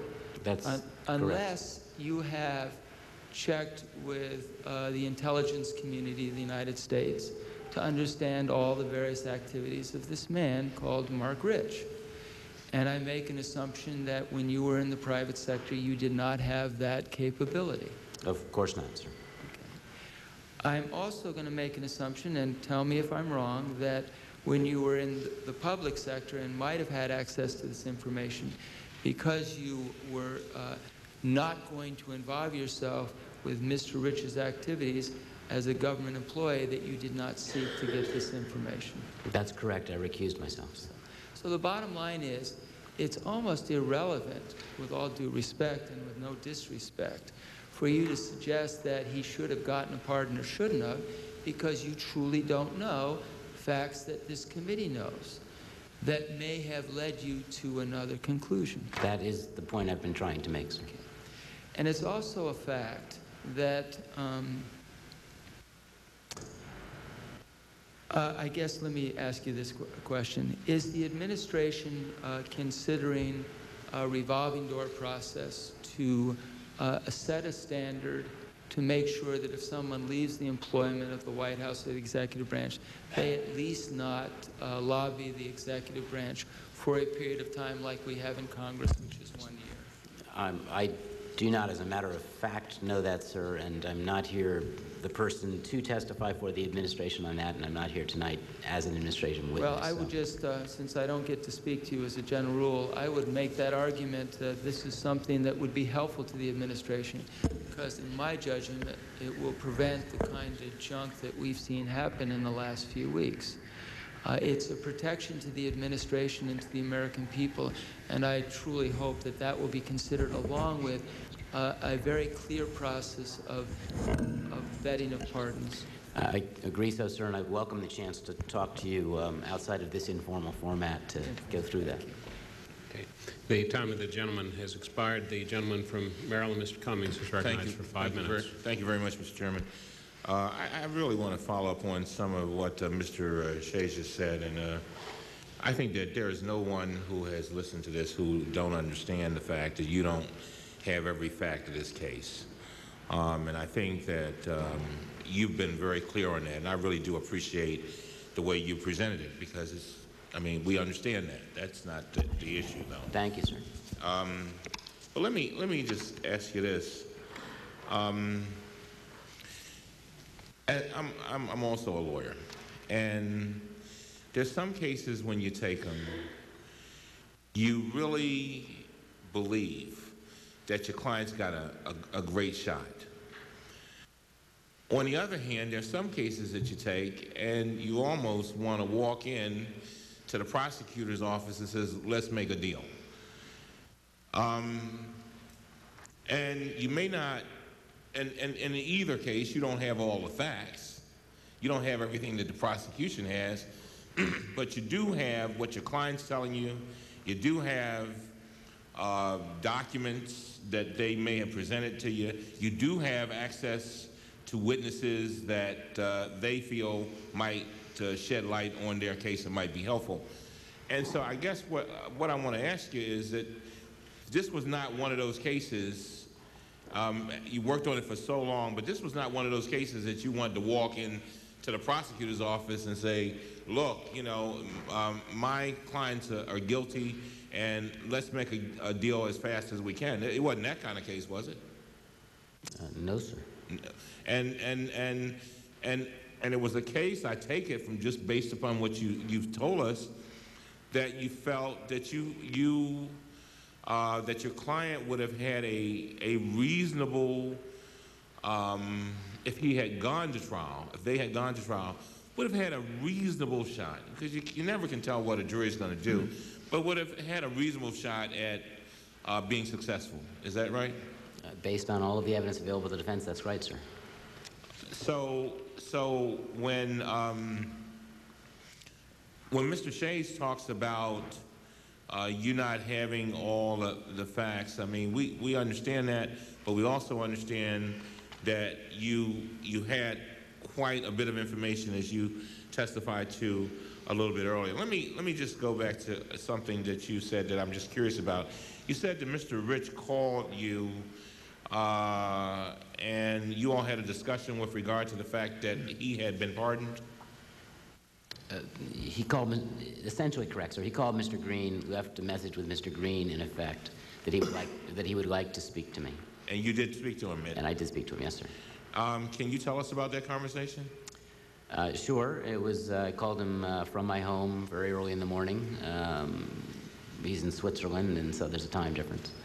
It was a very brief conversation. Um, by the time he got on the phone, it might have been only a minute or so, or two minute conversation. It was quite brief. Um, he said that uh, he appreciated what I had uh, done for him over the years of working for him, of course, prior to the pardon. Um, and uh, I congratulated him on having reached a, a, goal that he had sought for a long time. Um, of course, none of these issues had arisen at this at that point in time. There was no, I had no idea what had gone on in the pardon process. Even a newspaper reader's idea of what had gone on in the pardon process. This all came up later. And we fully understand that you were not a part of actually uh, trying to get this pardon. I- we understand that. But when he thanked you, I take it that, and you can, I mean, if you can shed some light on this, I'd appreciate it, that he was thanking you because you basically were the architect over the years for putting again together enough information. And I mean, through through your efforts, that's a lot of. Uh, you said somewhere in the area of two million dollars worth of work. That's quite a bit of work. Um, but you were the architect for putting together a lot of the information that was probably used in Mr. Quinn's arguments and in the justification that the president gave in the article that has been referenced so much here in the New York Times. Is that correct?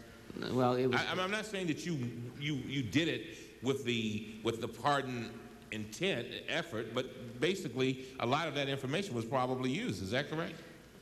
The defense team divided up the issues, sir. I worked primarily on the tax issue, and I worked some on the energy issue. Mr. Fink's firm had experts in energy law and export controls and things like that, so his firm led that portion of the case.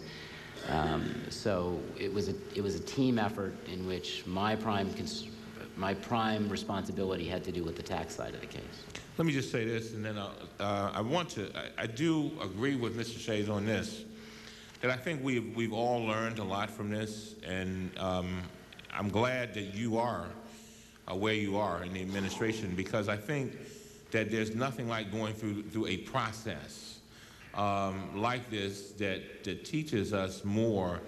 Uh, I mean, a lot of people can tell us, but once we go through this process, I think it, it, it is a very uh, tough lesson about trying to make sure that you know we can see how things can be dealt with in a proper fashion in the future. And um, I appreciate your comments uh, in response to Mr. Shays' uh, questions about um, you know the administration and President Bush and how he intends to handle these matters. And uh, I do appreciate your testimony. Thank you, sir. I, I thank the gentleman from Maryland for his excellent questions. And fellows, when they ask me to chair the, the hearing, it means we're almost done. I can guarantee you that. And it's now time for the, uh, the counsel on each side to ask questions, and we'll yield to the counsel for the majority, Mr. Mr. Wilson. Mr. Chairman, if I could just inquire, uh, we should feel free. I, I don't want to uh, give up my right to ask uh, more questions. You, you've surrendered no I- I- right. I may not uh, have any, but I just would Mr. like to. If, if you have questions, Mr. may Shays, you just let me know. well. And but, uh, we'll go to Mr. Wilson if you want to interrupt him, or you want time in your own right, let us know.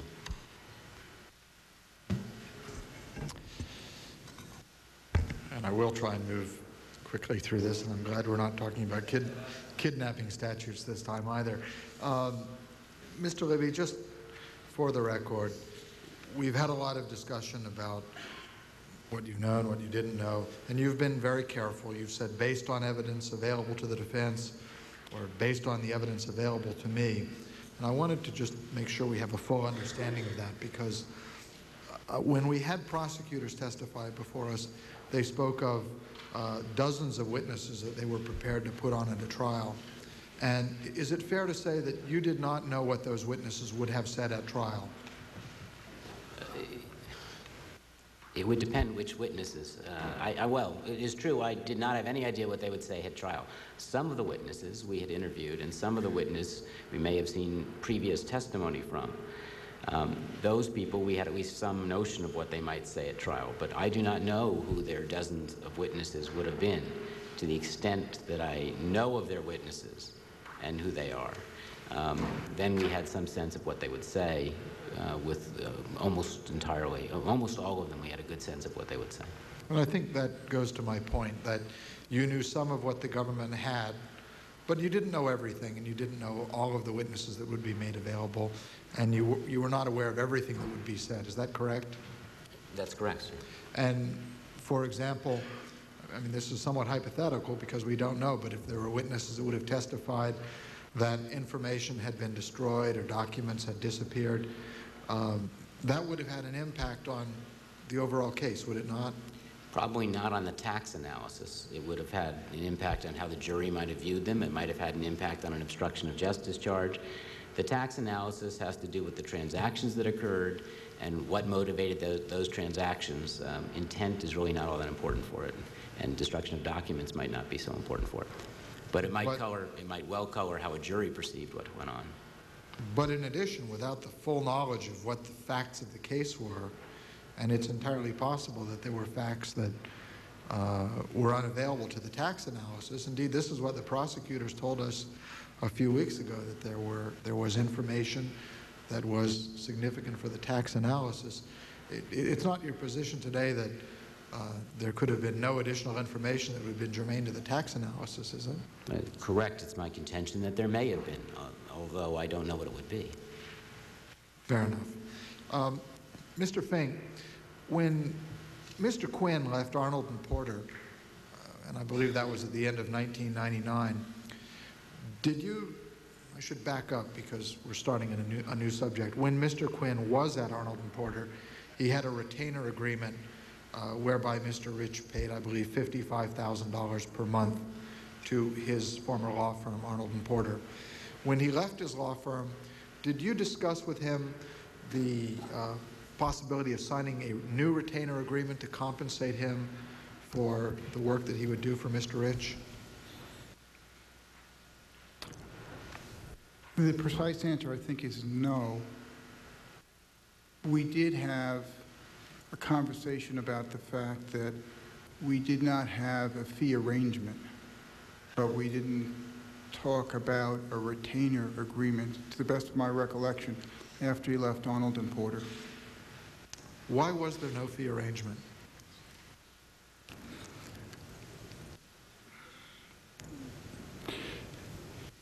The work that had been done while he was at Arnold and Porter ended in early 2000. I think everybody felt there wasn't any need to provide additional compensation for that work, and it did not appear at all certain that there would be additional work in the future. But, and that might explain why a retainer wouldn't be signed, but as Mr. Quinn did additional work, was it ever contemplated that he'd be compensated for the work he was doing? It was contemplated by me. And what were you thinking about Mr. Quinn's compensation? Um,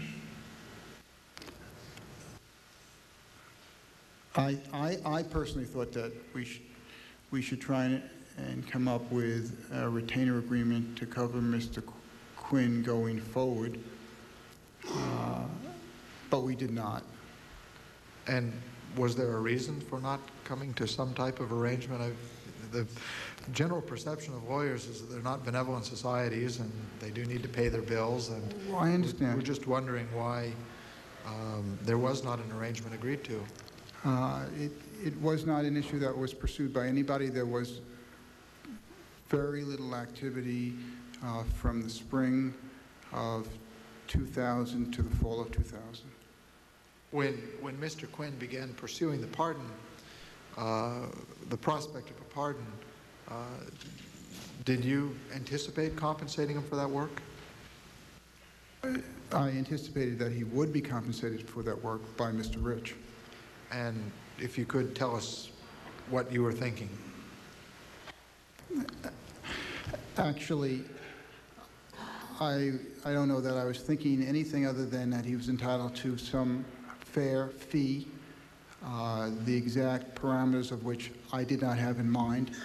Uh, I believe I told Mr. Quinn uh, when we started to discuss the pardon that we would find a, uh fair fee arrangement for him consistent with whatever his fee arrangements were. I, I did not know how he was handling fee arrangements. Did you discuss with Mr. Rich um, compensating Mr. Quinn? Did you excuse me just one moment? Certainly.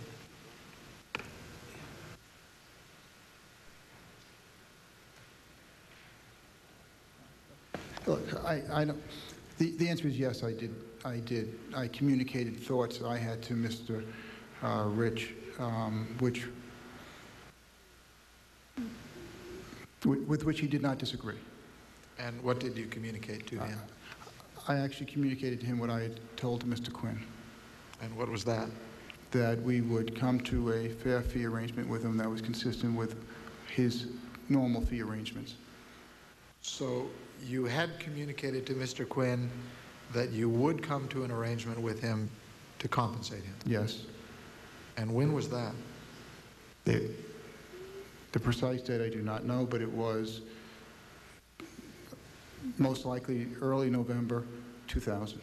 And, and when did you, when did you stop thinking that that was going to be the case?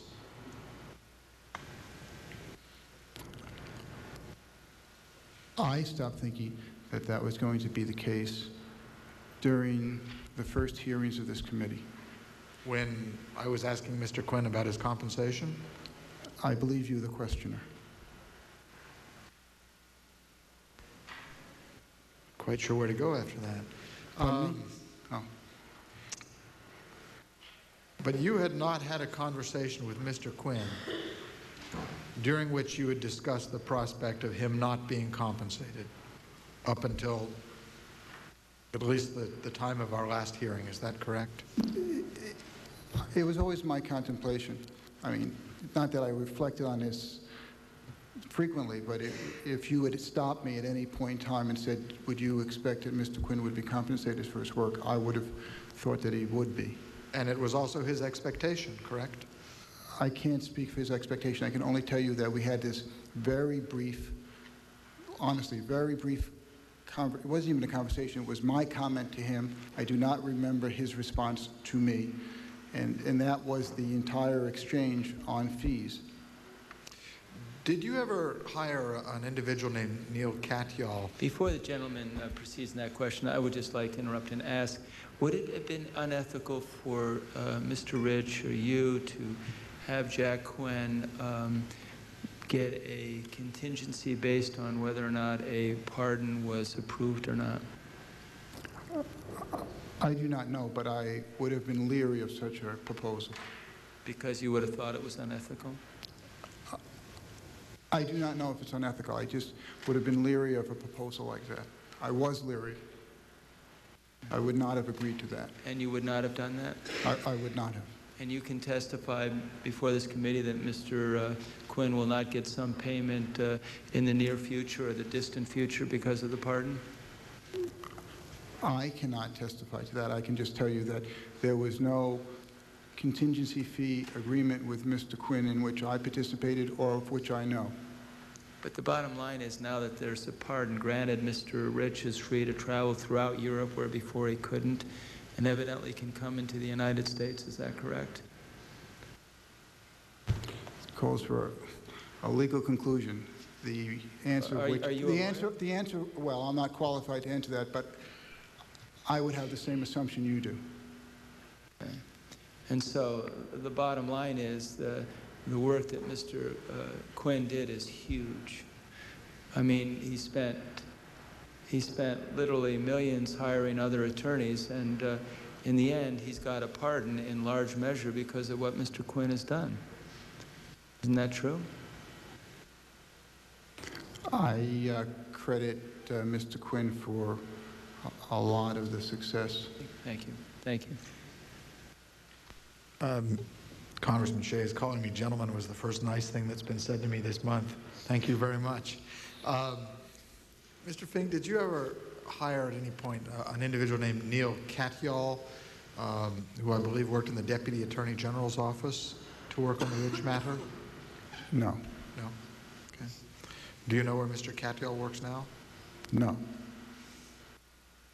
What was Michael Steinhardt's role in the pardon process, if there was any role?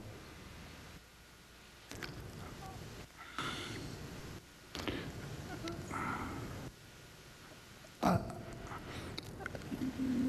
hesitate only because the word role can have many meanings to different people. He wrote a letter. He may have encouraged others to do so.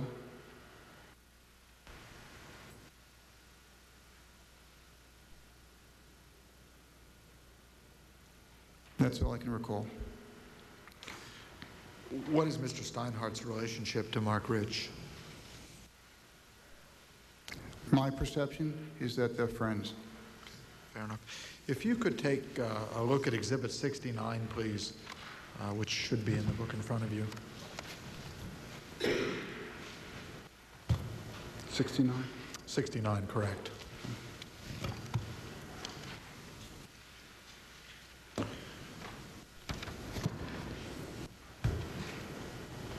Uh, This is an email from, from you, apparently, to Mr. Azulay, uh, Mr. Green, and Ms. Ms. Behan. And uh, the text, it's an email, and it says, "I just spoke to Jack. He has not heard from the president, but agreed to call him as soon as he gets to a hardline phone. He was in the car.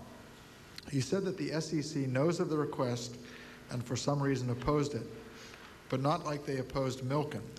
He does not know how they learned of it. He, he found out when the head of the SEC gave one of his partners a hard time about Marc yesterday. We agree that it is not good and that maybe the SDNY knows too, but we have no information on it. Uh, no other pardons have been announced yet as far as we know. Bob? Um, was it, in your opinion, a bad thing for the Securities and Exchange Commission to know about the Rich pardon application?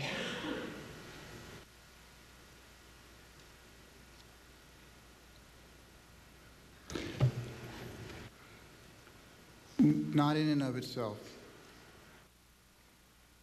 But that was not a concern of yours that, that the SEC would learn? I, I never was concerned that the SEC would learn about it. But there was a concern? No, no. Okay. The concern, the concern that I had was one I enunciated earlier.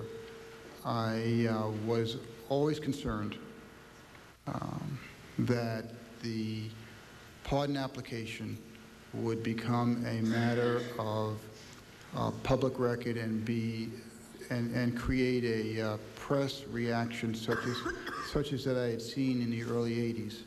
And I, I felt that would not be helpful for a uh, thoughtful review of the pardon application.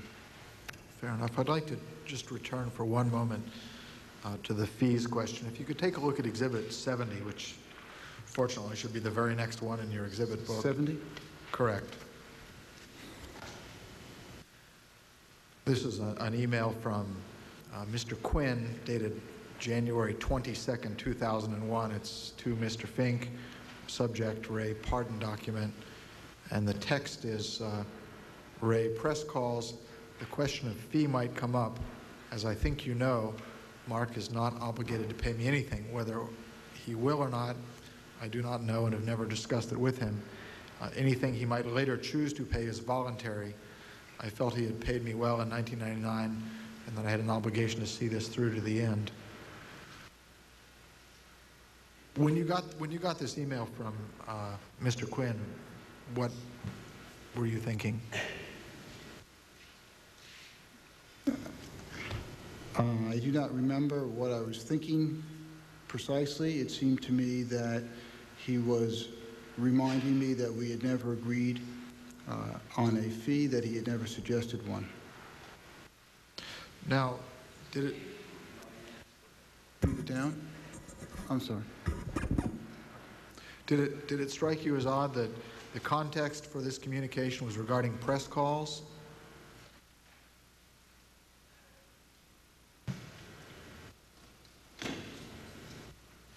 I do not remember, but is that, is that working still? Is it working now? Oh. Yes, it is now.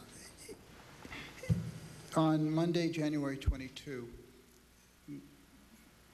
the fact that someone was concerned about press inquiry did not strike me as odd. That's what we were dealing with, press inquiry. Right, but specifically regarding the, the, the compensation aspect, I mean, one would expect him to have been compensated. That would be a fairly normal arrangement. Here, he had not been, so did it strike you as odd that in the, in the context of press inquiries, there was a concern about compensation? I, I don't remember, but I don't believe that I was surprised that the, the press was asking him questions about compensation. I had already been asked questions about compensation by that point, I believe. Did you follow this email up with any communication, verbal communication? Maybe a better way to ask that is what happened after you I, read this email? I don't believe, I don't believe, well, that's not true. I was going to say, I don't believe Jack and I talked about fees after that, but I think we did, and the subject was that he had, his fee arrangement had never been fixed, uh, and it still wasn't. And I believe I told him that uh, I realized that and that I intended to uh, discuss it with Mr. Rich. Thank you. Let's move on to the last subject that I'll cover today, and it's, um, it involves Denise Rich. Uh, Mr. Fink, how long have you known Denise Rich?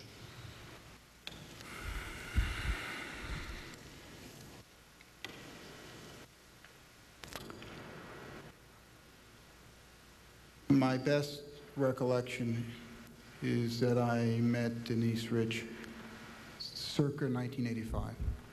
And do you know how much money she received in her divorce settlement with Mr. Rich?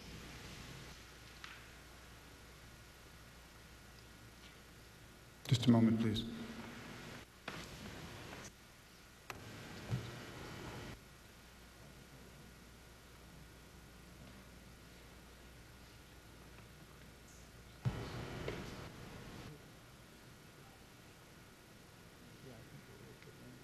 Never discussed it.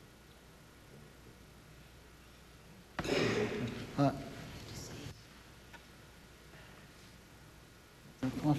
I'm sorry. I- I- I'm s- I apologize for the delay. The, the answer to your question is, to, to the best of my recollection, I, I do know, but uh, the, the amount would cause me to, re- to reveal an attorney confidence, an attorney-client confidence. Do you know whether, do you know whether Denise Rich has any bank accounts or had at any time in the past year any bank accounts or trust funds to which she and Marc Rich have joint control or access? I do not. To your knowledge, has um, Ms. Rich received any money from Mark Rich since her divorce settlement, other than anything that was contemplated in the settlement itself? I have no knowledge of, of any such thing. Are you aware of um, any request for uh, a revision of a settlement or increased funds for her uh, children? No, I am not. Uh, As has been reported, uh, recently, uh, Mrs. Rich gave over $1.2 million to the Democratic Party. I'm sorry, I I missed what you said. Uh, As has been reported, Ms. Rich gave uh, 1.2, just a little over 1.2 million dollars to the Democratic Party and gave $450,000 to the Clinton Library. Uh, Do you have any knowledge as to whether these contributions were all made with her own money or whether they were not made with her own money? Other than the fact that there are press reports about this, uh, I have no knowledge of the contributions at all. That, that is meant to include your question. Right. Um, Do you know whether Marc Rich or uh, anyone acting on Marc Rich's behalf suggested that Ms. Rich make any contributions to uh, any political causes, I do not. uh, to the Clinton Library? I do not.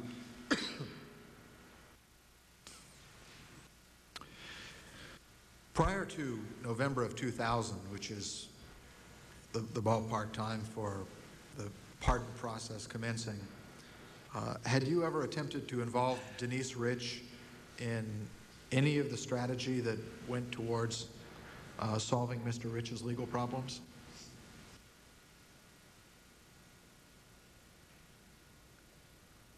I hate it. I think the answer to your question is no, I had, I had not. Was there, were you part of any um, contemplation to bring her in in any way to play a part in the resolution of Mr. Rich's legal problems? Could you pardon me for one moment?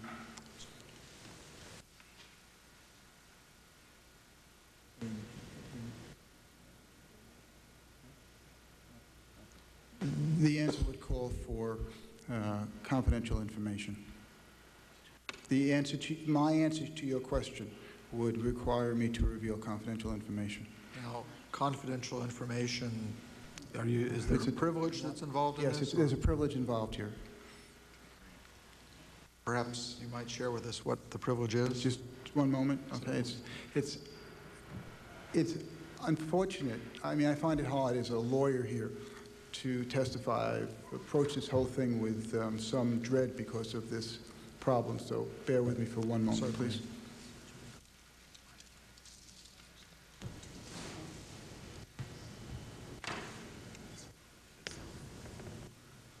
Can't do the clock, I can't. I, I actually, uh, I believe, and I've been advised that it's both uh, attorney-client and work product privileges are involved here.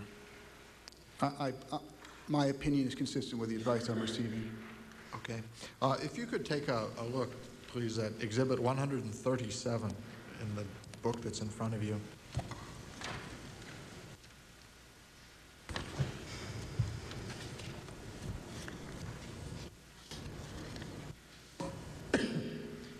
There, there are, appear to be two email communications here.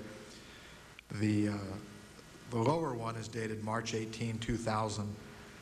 Uh, It is from Avner Azulay, and it appears to be to you, Mr. Fink.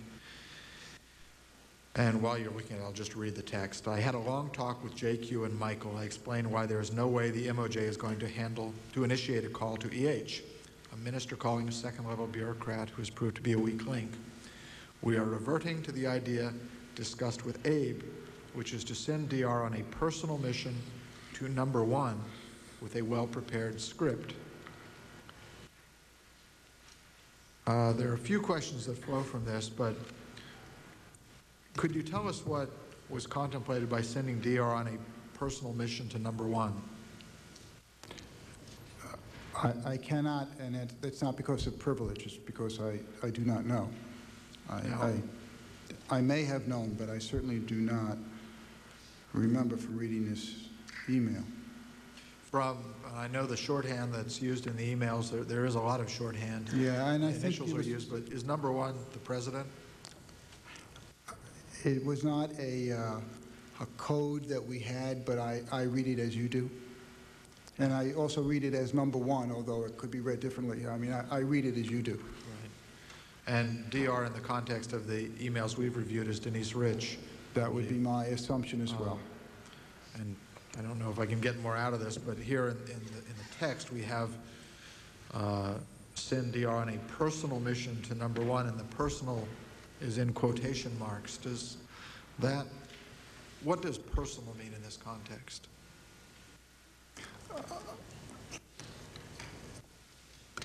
I do not know. I, I would only, I would only be uh, speculating entirely. I have, uh, I have no idea.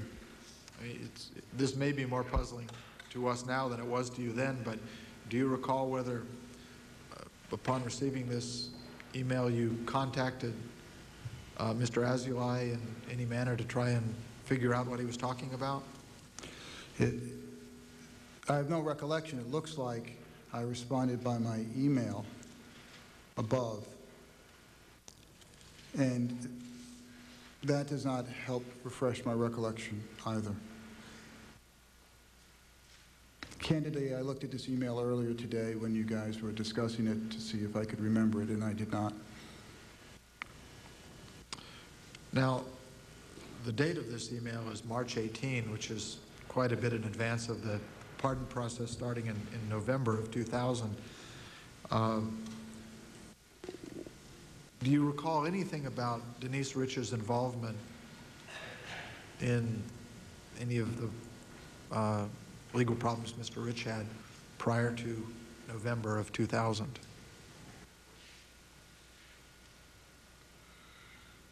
That is, um, not to be critical, a very broad question. The answer, considering it's so broad, would have to be yes, but it would, I'm sorry, the answer is yes. I'll let you ask your next It was, question. it was purposely broad right, because then we'll try and And- narrow it a little bit. Um, Just staying within the bounds of the year 2000, if you could tell us anything you know about involving Denise Rich. Uh, I have no recollection of any involvement with Ms. Denise Rich uh, during this period of time in 2000. Uh, I do know uh, that there was involvement uh, later in 2000. Uh, I actually participated in some of that. But in response to my very broad question, you indicated there was involvement. Is it fair to characterize there was involvement, you just don't remember what it was? Is that? No, no, no, there's, I,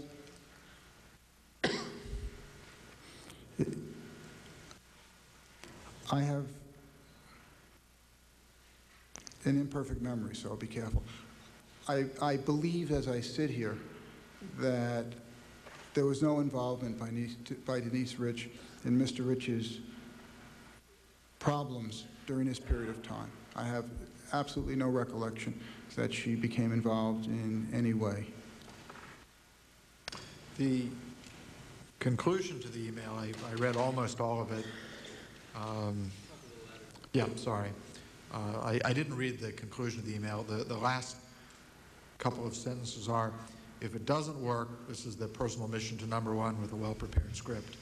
And then it follows, if it doesn't work, we didn't lose the present opportunity until NOV, which I assume to be November, which shall not repeat itself. If it doesn't, then probably Gershon's course of action shall be the one left, uh, and it says one left option to start all over again. Uh, this is only for your info. Regards, AA. Um, do you recall what, what Gershon, this refers, I believe, to Gershon Kekst, um, who's a publicist in New York. Do you know what um, Gershon's course of action was? Uh, well, I do not know what Mr. Azul- Azulay was trying to say in this sentence. Do you, just based on your knowledge of who was doing what at the time, do you have any sense of what he was trying to communicate? Or what is trying to be, what is attempted to be communicated here? Could you, one, one second, please? Certainly.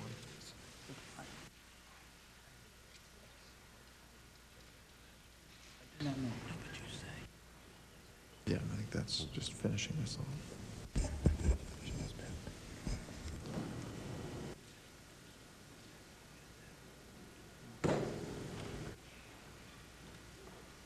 No, another piece.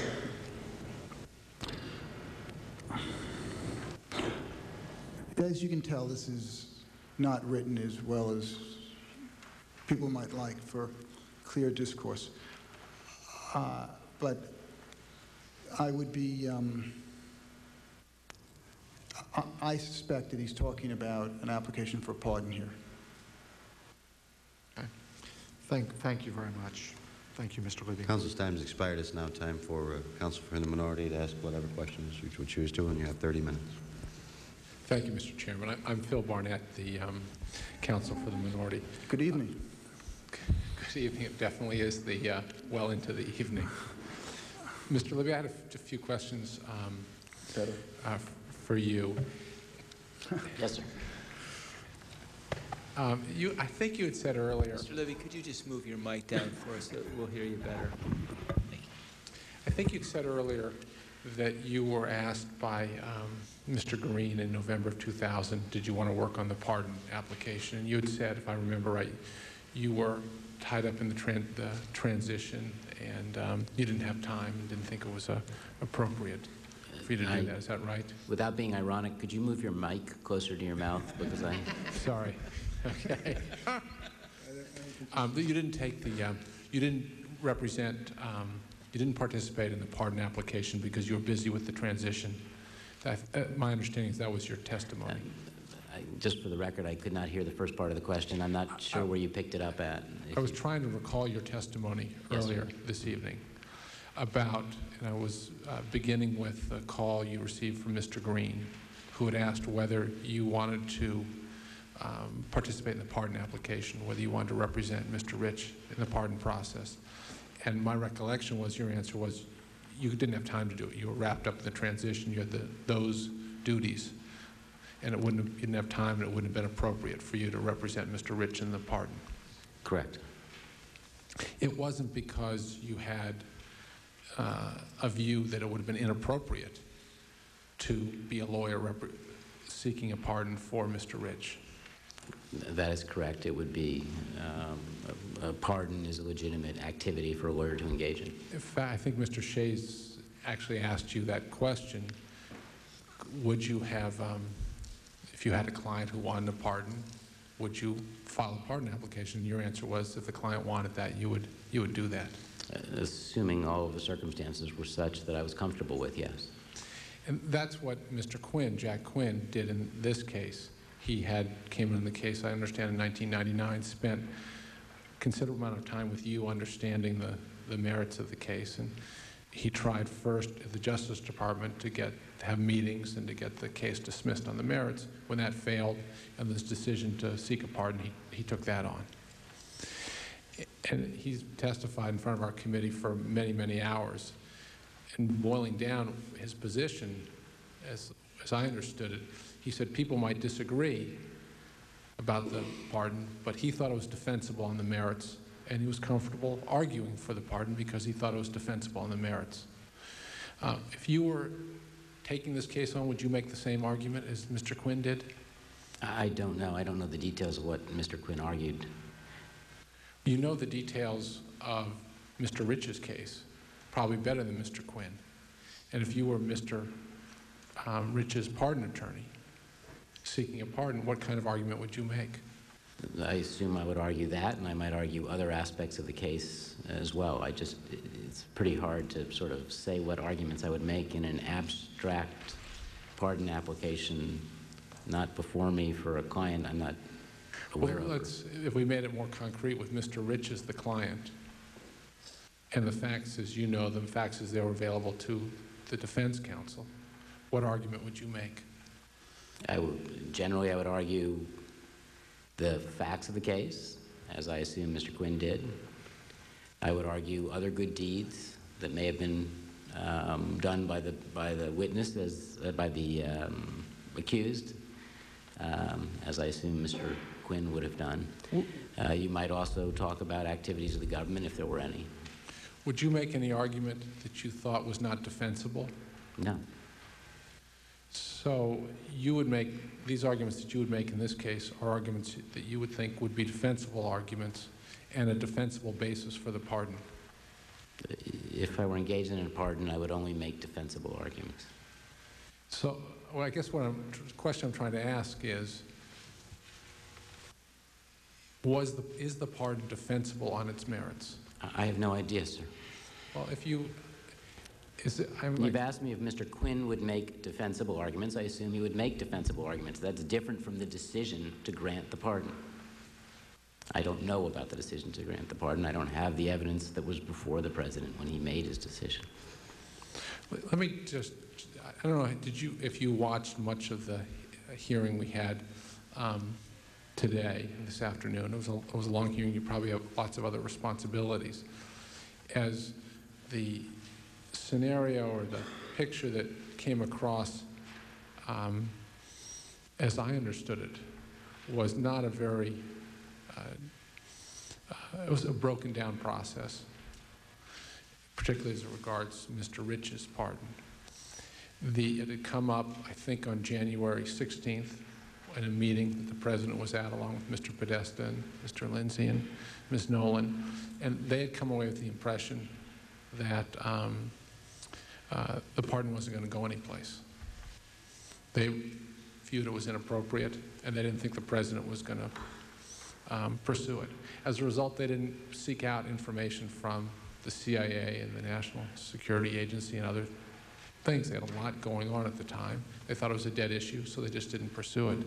Then they come to the evening before the uh, transition, and the president's gotten a call from Prime Minister Barak, and all of a sudden he wants to revisit it. And there's really no time at that point to get additional information at that point.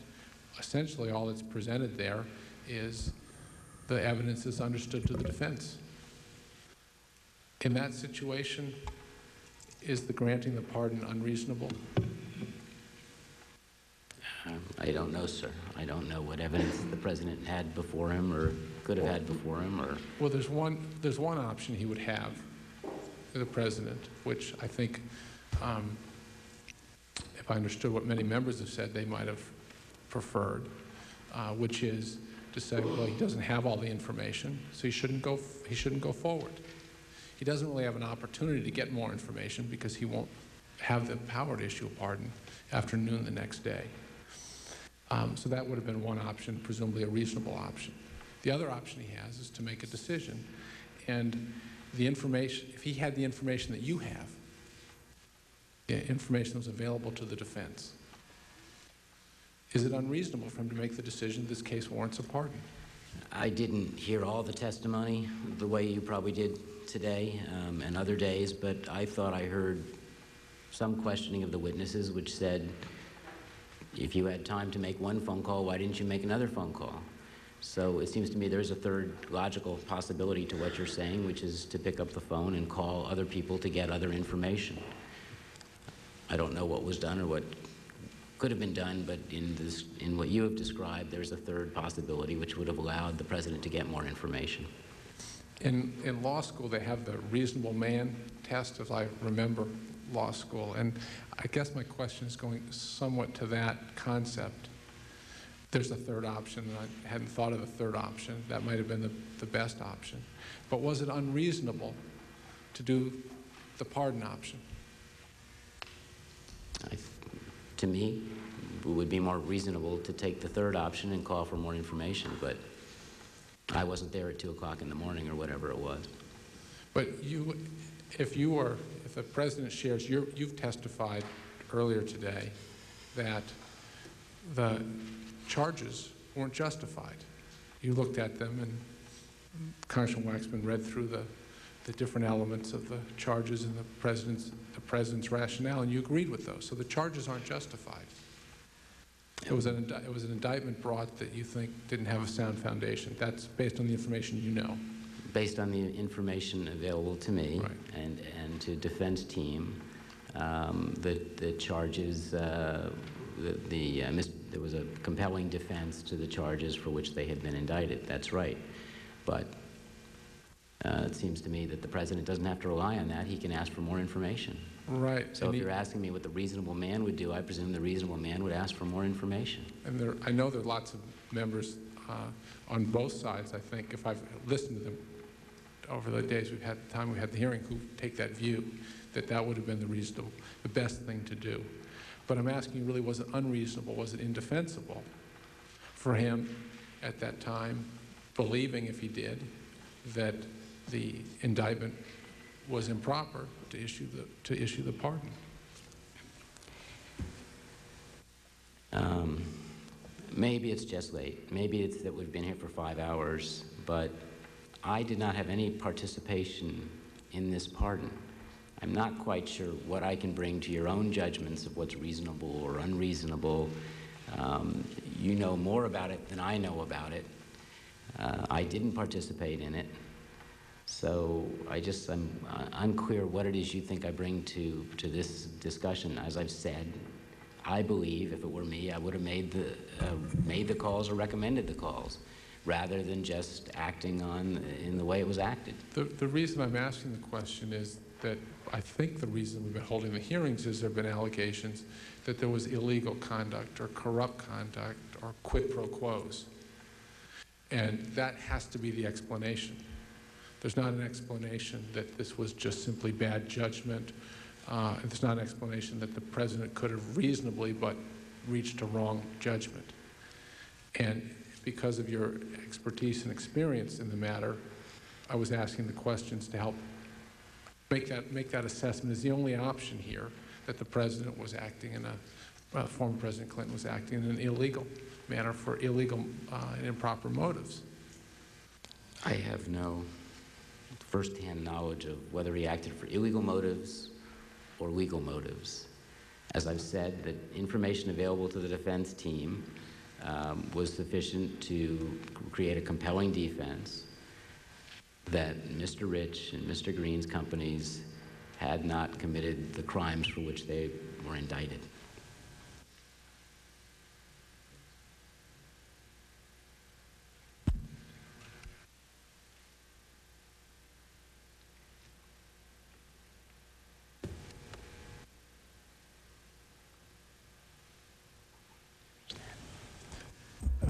Mr. Chairman, Mr. Schiliro, uh, who is the uh, uh, Minority Staff Director, uh, would like to ask questions for about another five minutes or so, if that's uh, permissible. Listen, I have absolutely no problem with you gentlemen having your 30 minutes. I just will want to ask a question or two, not many, uh, when you're done. And uh, I'll respect the fact that you don't have a member on your side to counter. I just will make some general I- I'd be comments. happy to give you my time, Yeah. because I won't take it all. Well, you have, you have 18 minutes, knock yourself out.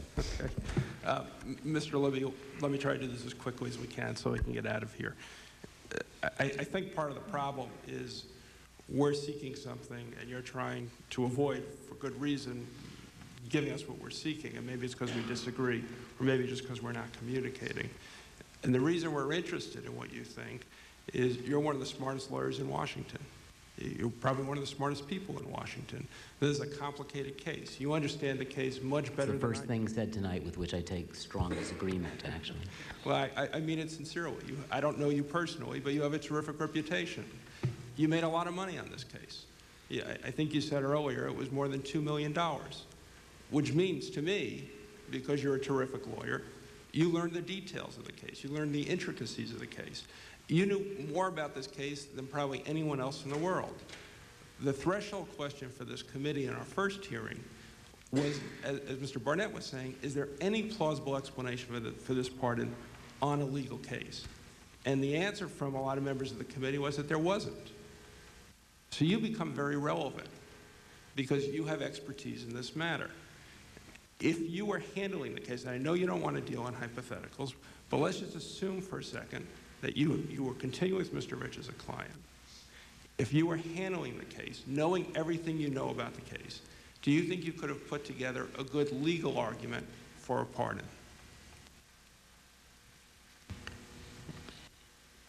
If I were handling the case, I probably would not have asked for a pardon. You would not have? Probably not. Even when you hit a dead end with the U.S. Attorney's Office? That's correct. And, and explain that to me, why you wouldn't have asked for a pardon. I would have sought to have the Justice Department ordered to reopen the case and look at the merits of the case. And I think when you did your transition with Mr. Quinn, you fully apprised him of all the details of the case. Correct. You, on the legal, on the, both the legal arguments and the situation surrounding the case. Uh, this is in the fall of 99 and a little bit into 2000, yes. And they tried to, to make headway with the U.S. Attorney's Office in New York, and they got nowhere. Correct. You stayed on the case, maybe not in as active way as you had been previously, but you joined, Mr. Quinn joined you and other people working on this. The lawyers reached the conclusion that they were making no headway. There was no other alternative but to seek a pardon. Uh, I was not. You were not part of that, Participating but, at but that's my understanding of what the lawyers decided, and I assume you agree with that, based on the facts as we know them. I take your That's, point. that's, that's yeah. the testimony we've received from the lawyers. I'll accept that. So when we asked you before about November of 2000, when you were approached, it didn't sound to me at that point that you declined because you thought it was an inappropriate act to seek a pardon in this case. It sounded as if you declined because of circumstances. That's correct. Let me make sure I, I don't misunderstand it then. If you hadn't been in those circumstances, would you have entertained a pardon in this case? I would have considered going for asking for a pardon, yes. And so if we're, if we're in that situation, it doesn't sound to me that's exactly what you said before when you wouldn't have sought a pardon in this case. It is fully consistent with what I said before. I would have considered a pardon, I would have considered other routes, and I think in the end, You the course rejected. that I think would have best served the client was not to go for a pardon, but to get the, the uh, Department of Justice to look at the merits of the case. Right. And- But your, your client has paid you more than $2 million. Your client has got no relief, wants to come back to the United States, feels the indictment was flawed. You know the case, and your client is saying to you, this is, this is what I think is my only alternative. At that point, you've entertained it. Is your testimony that you would have said no to your client at that point? Um, at- At that point, I would have um, presented to the client the options. What I'm saying is there is another option besides going for a pardon. There's an option to try and um, get the sub, get the, the Department of Justice to look at the merits of the case. Right, and that's failed. So now the, No. we're- we're- well, I I think that's the conclusion the the other attorneys on the case reached in 2000. So the Department of Justice never looked at, in, in the post-indictment stage, never looked at the merits of the case. I I think the conclusion of the lawyers who were working on this case is the Justice Department was not going to do that.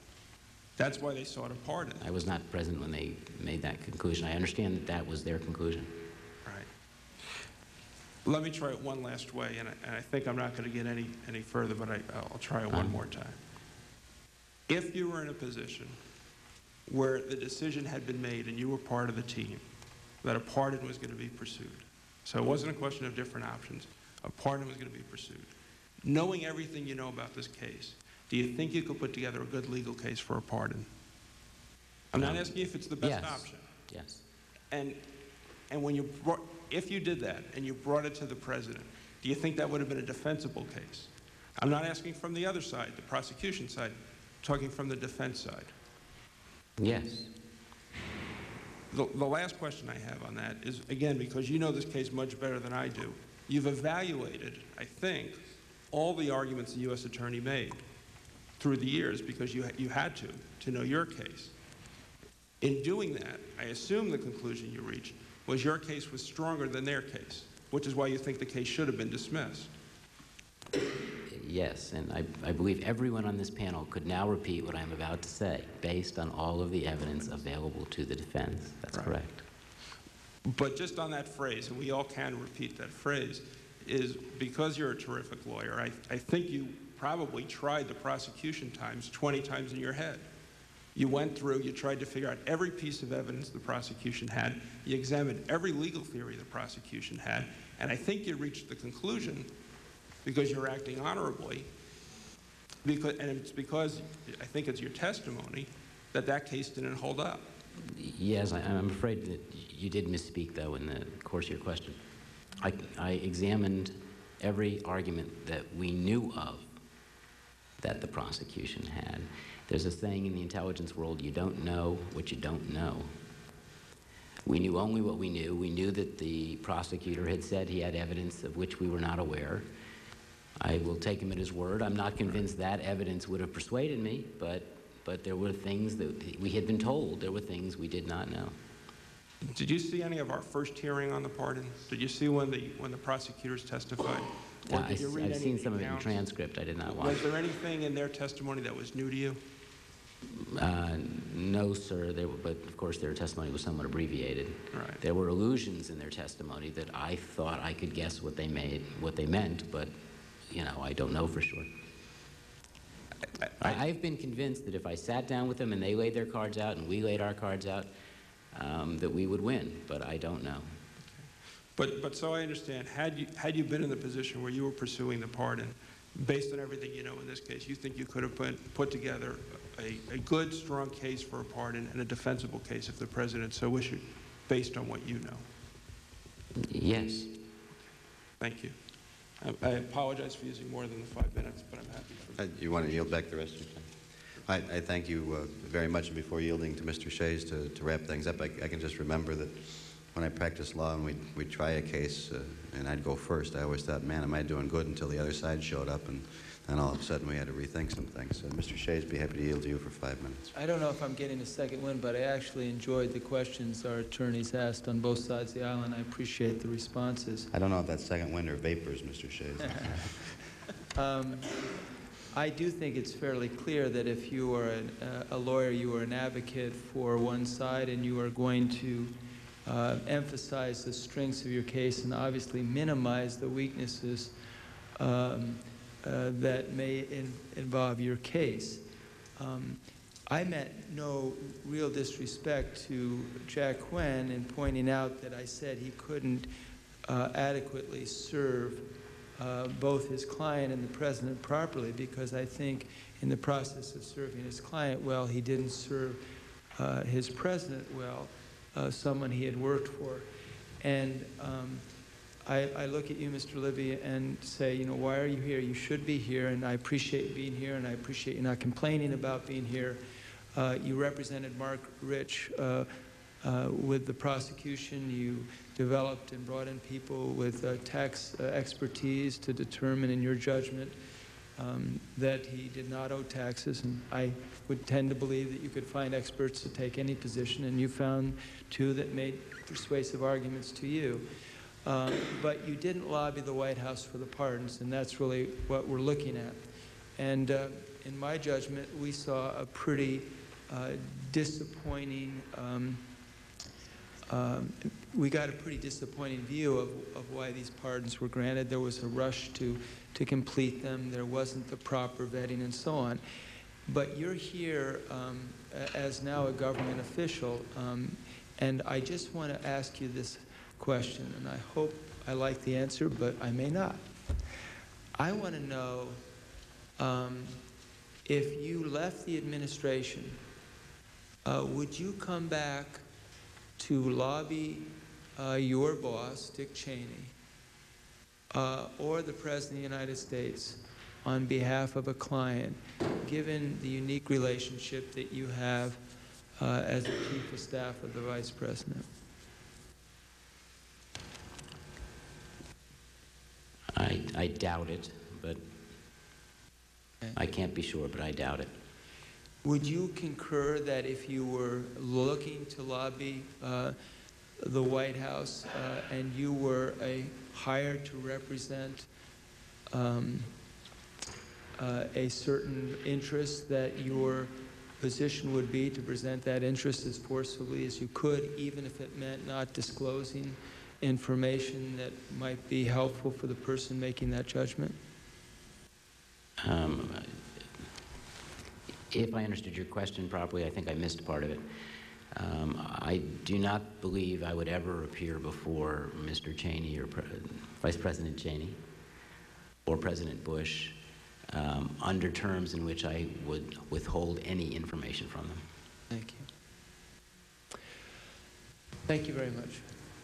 Thank you, Mr. Shays, and I, I think that that exhausts any question that anybody could possibly have. I want to thank you, Mr. Libby, and you, Mr. Fink, for uh, your patience and your uh, forthrightness with the committee. You were both uh, excellent representatives. Mr. uh, Vice President Cheney is lucky, Mr. Rich is lucky, and we thank you very much, and this hearing is adjourned. Thank you, sir.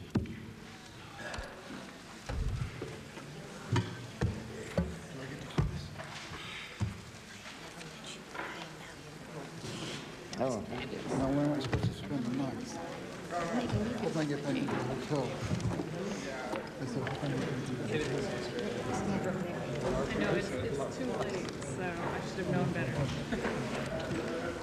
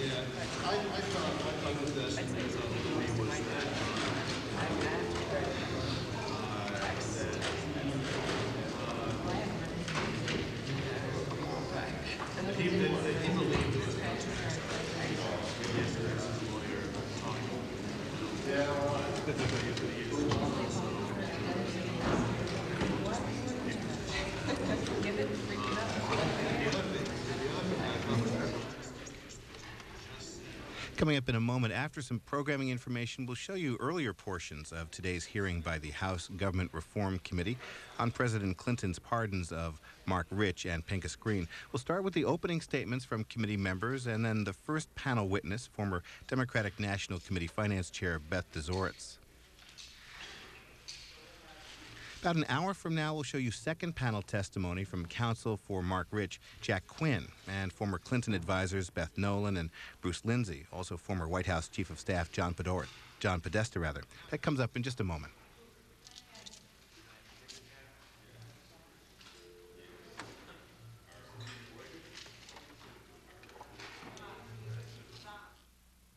Tomorrow morning on Washington Journal, guests will include USA Today columnist Walter Shapiro. Then broadcaster Art Linkletter will talk about his involvement with health care and tax issues before Congress. Later, Edward Alden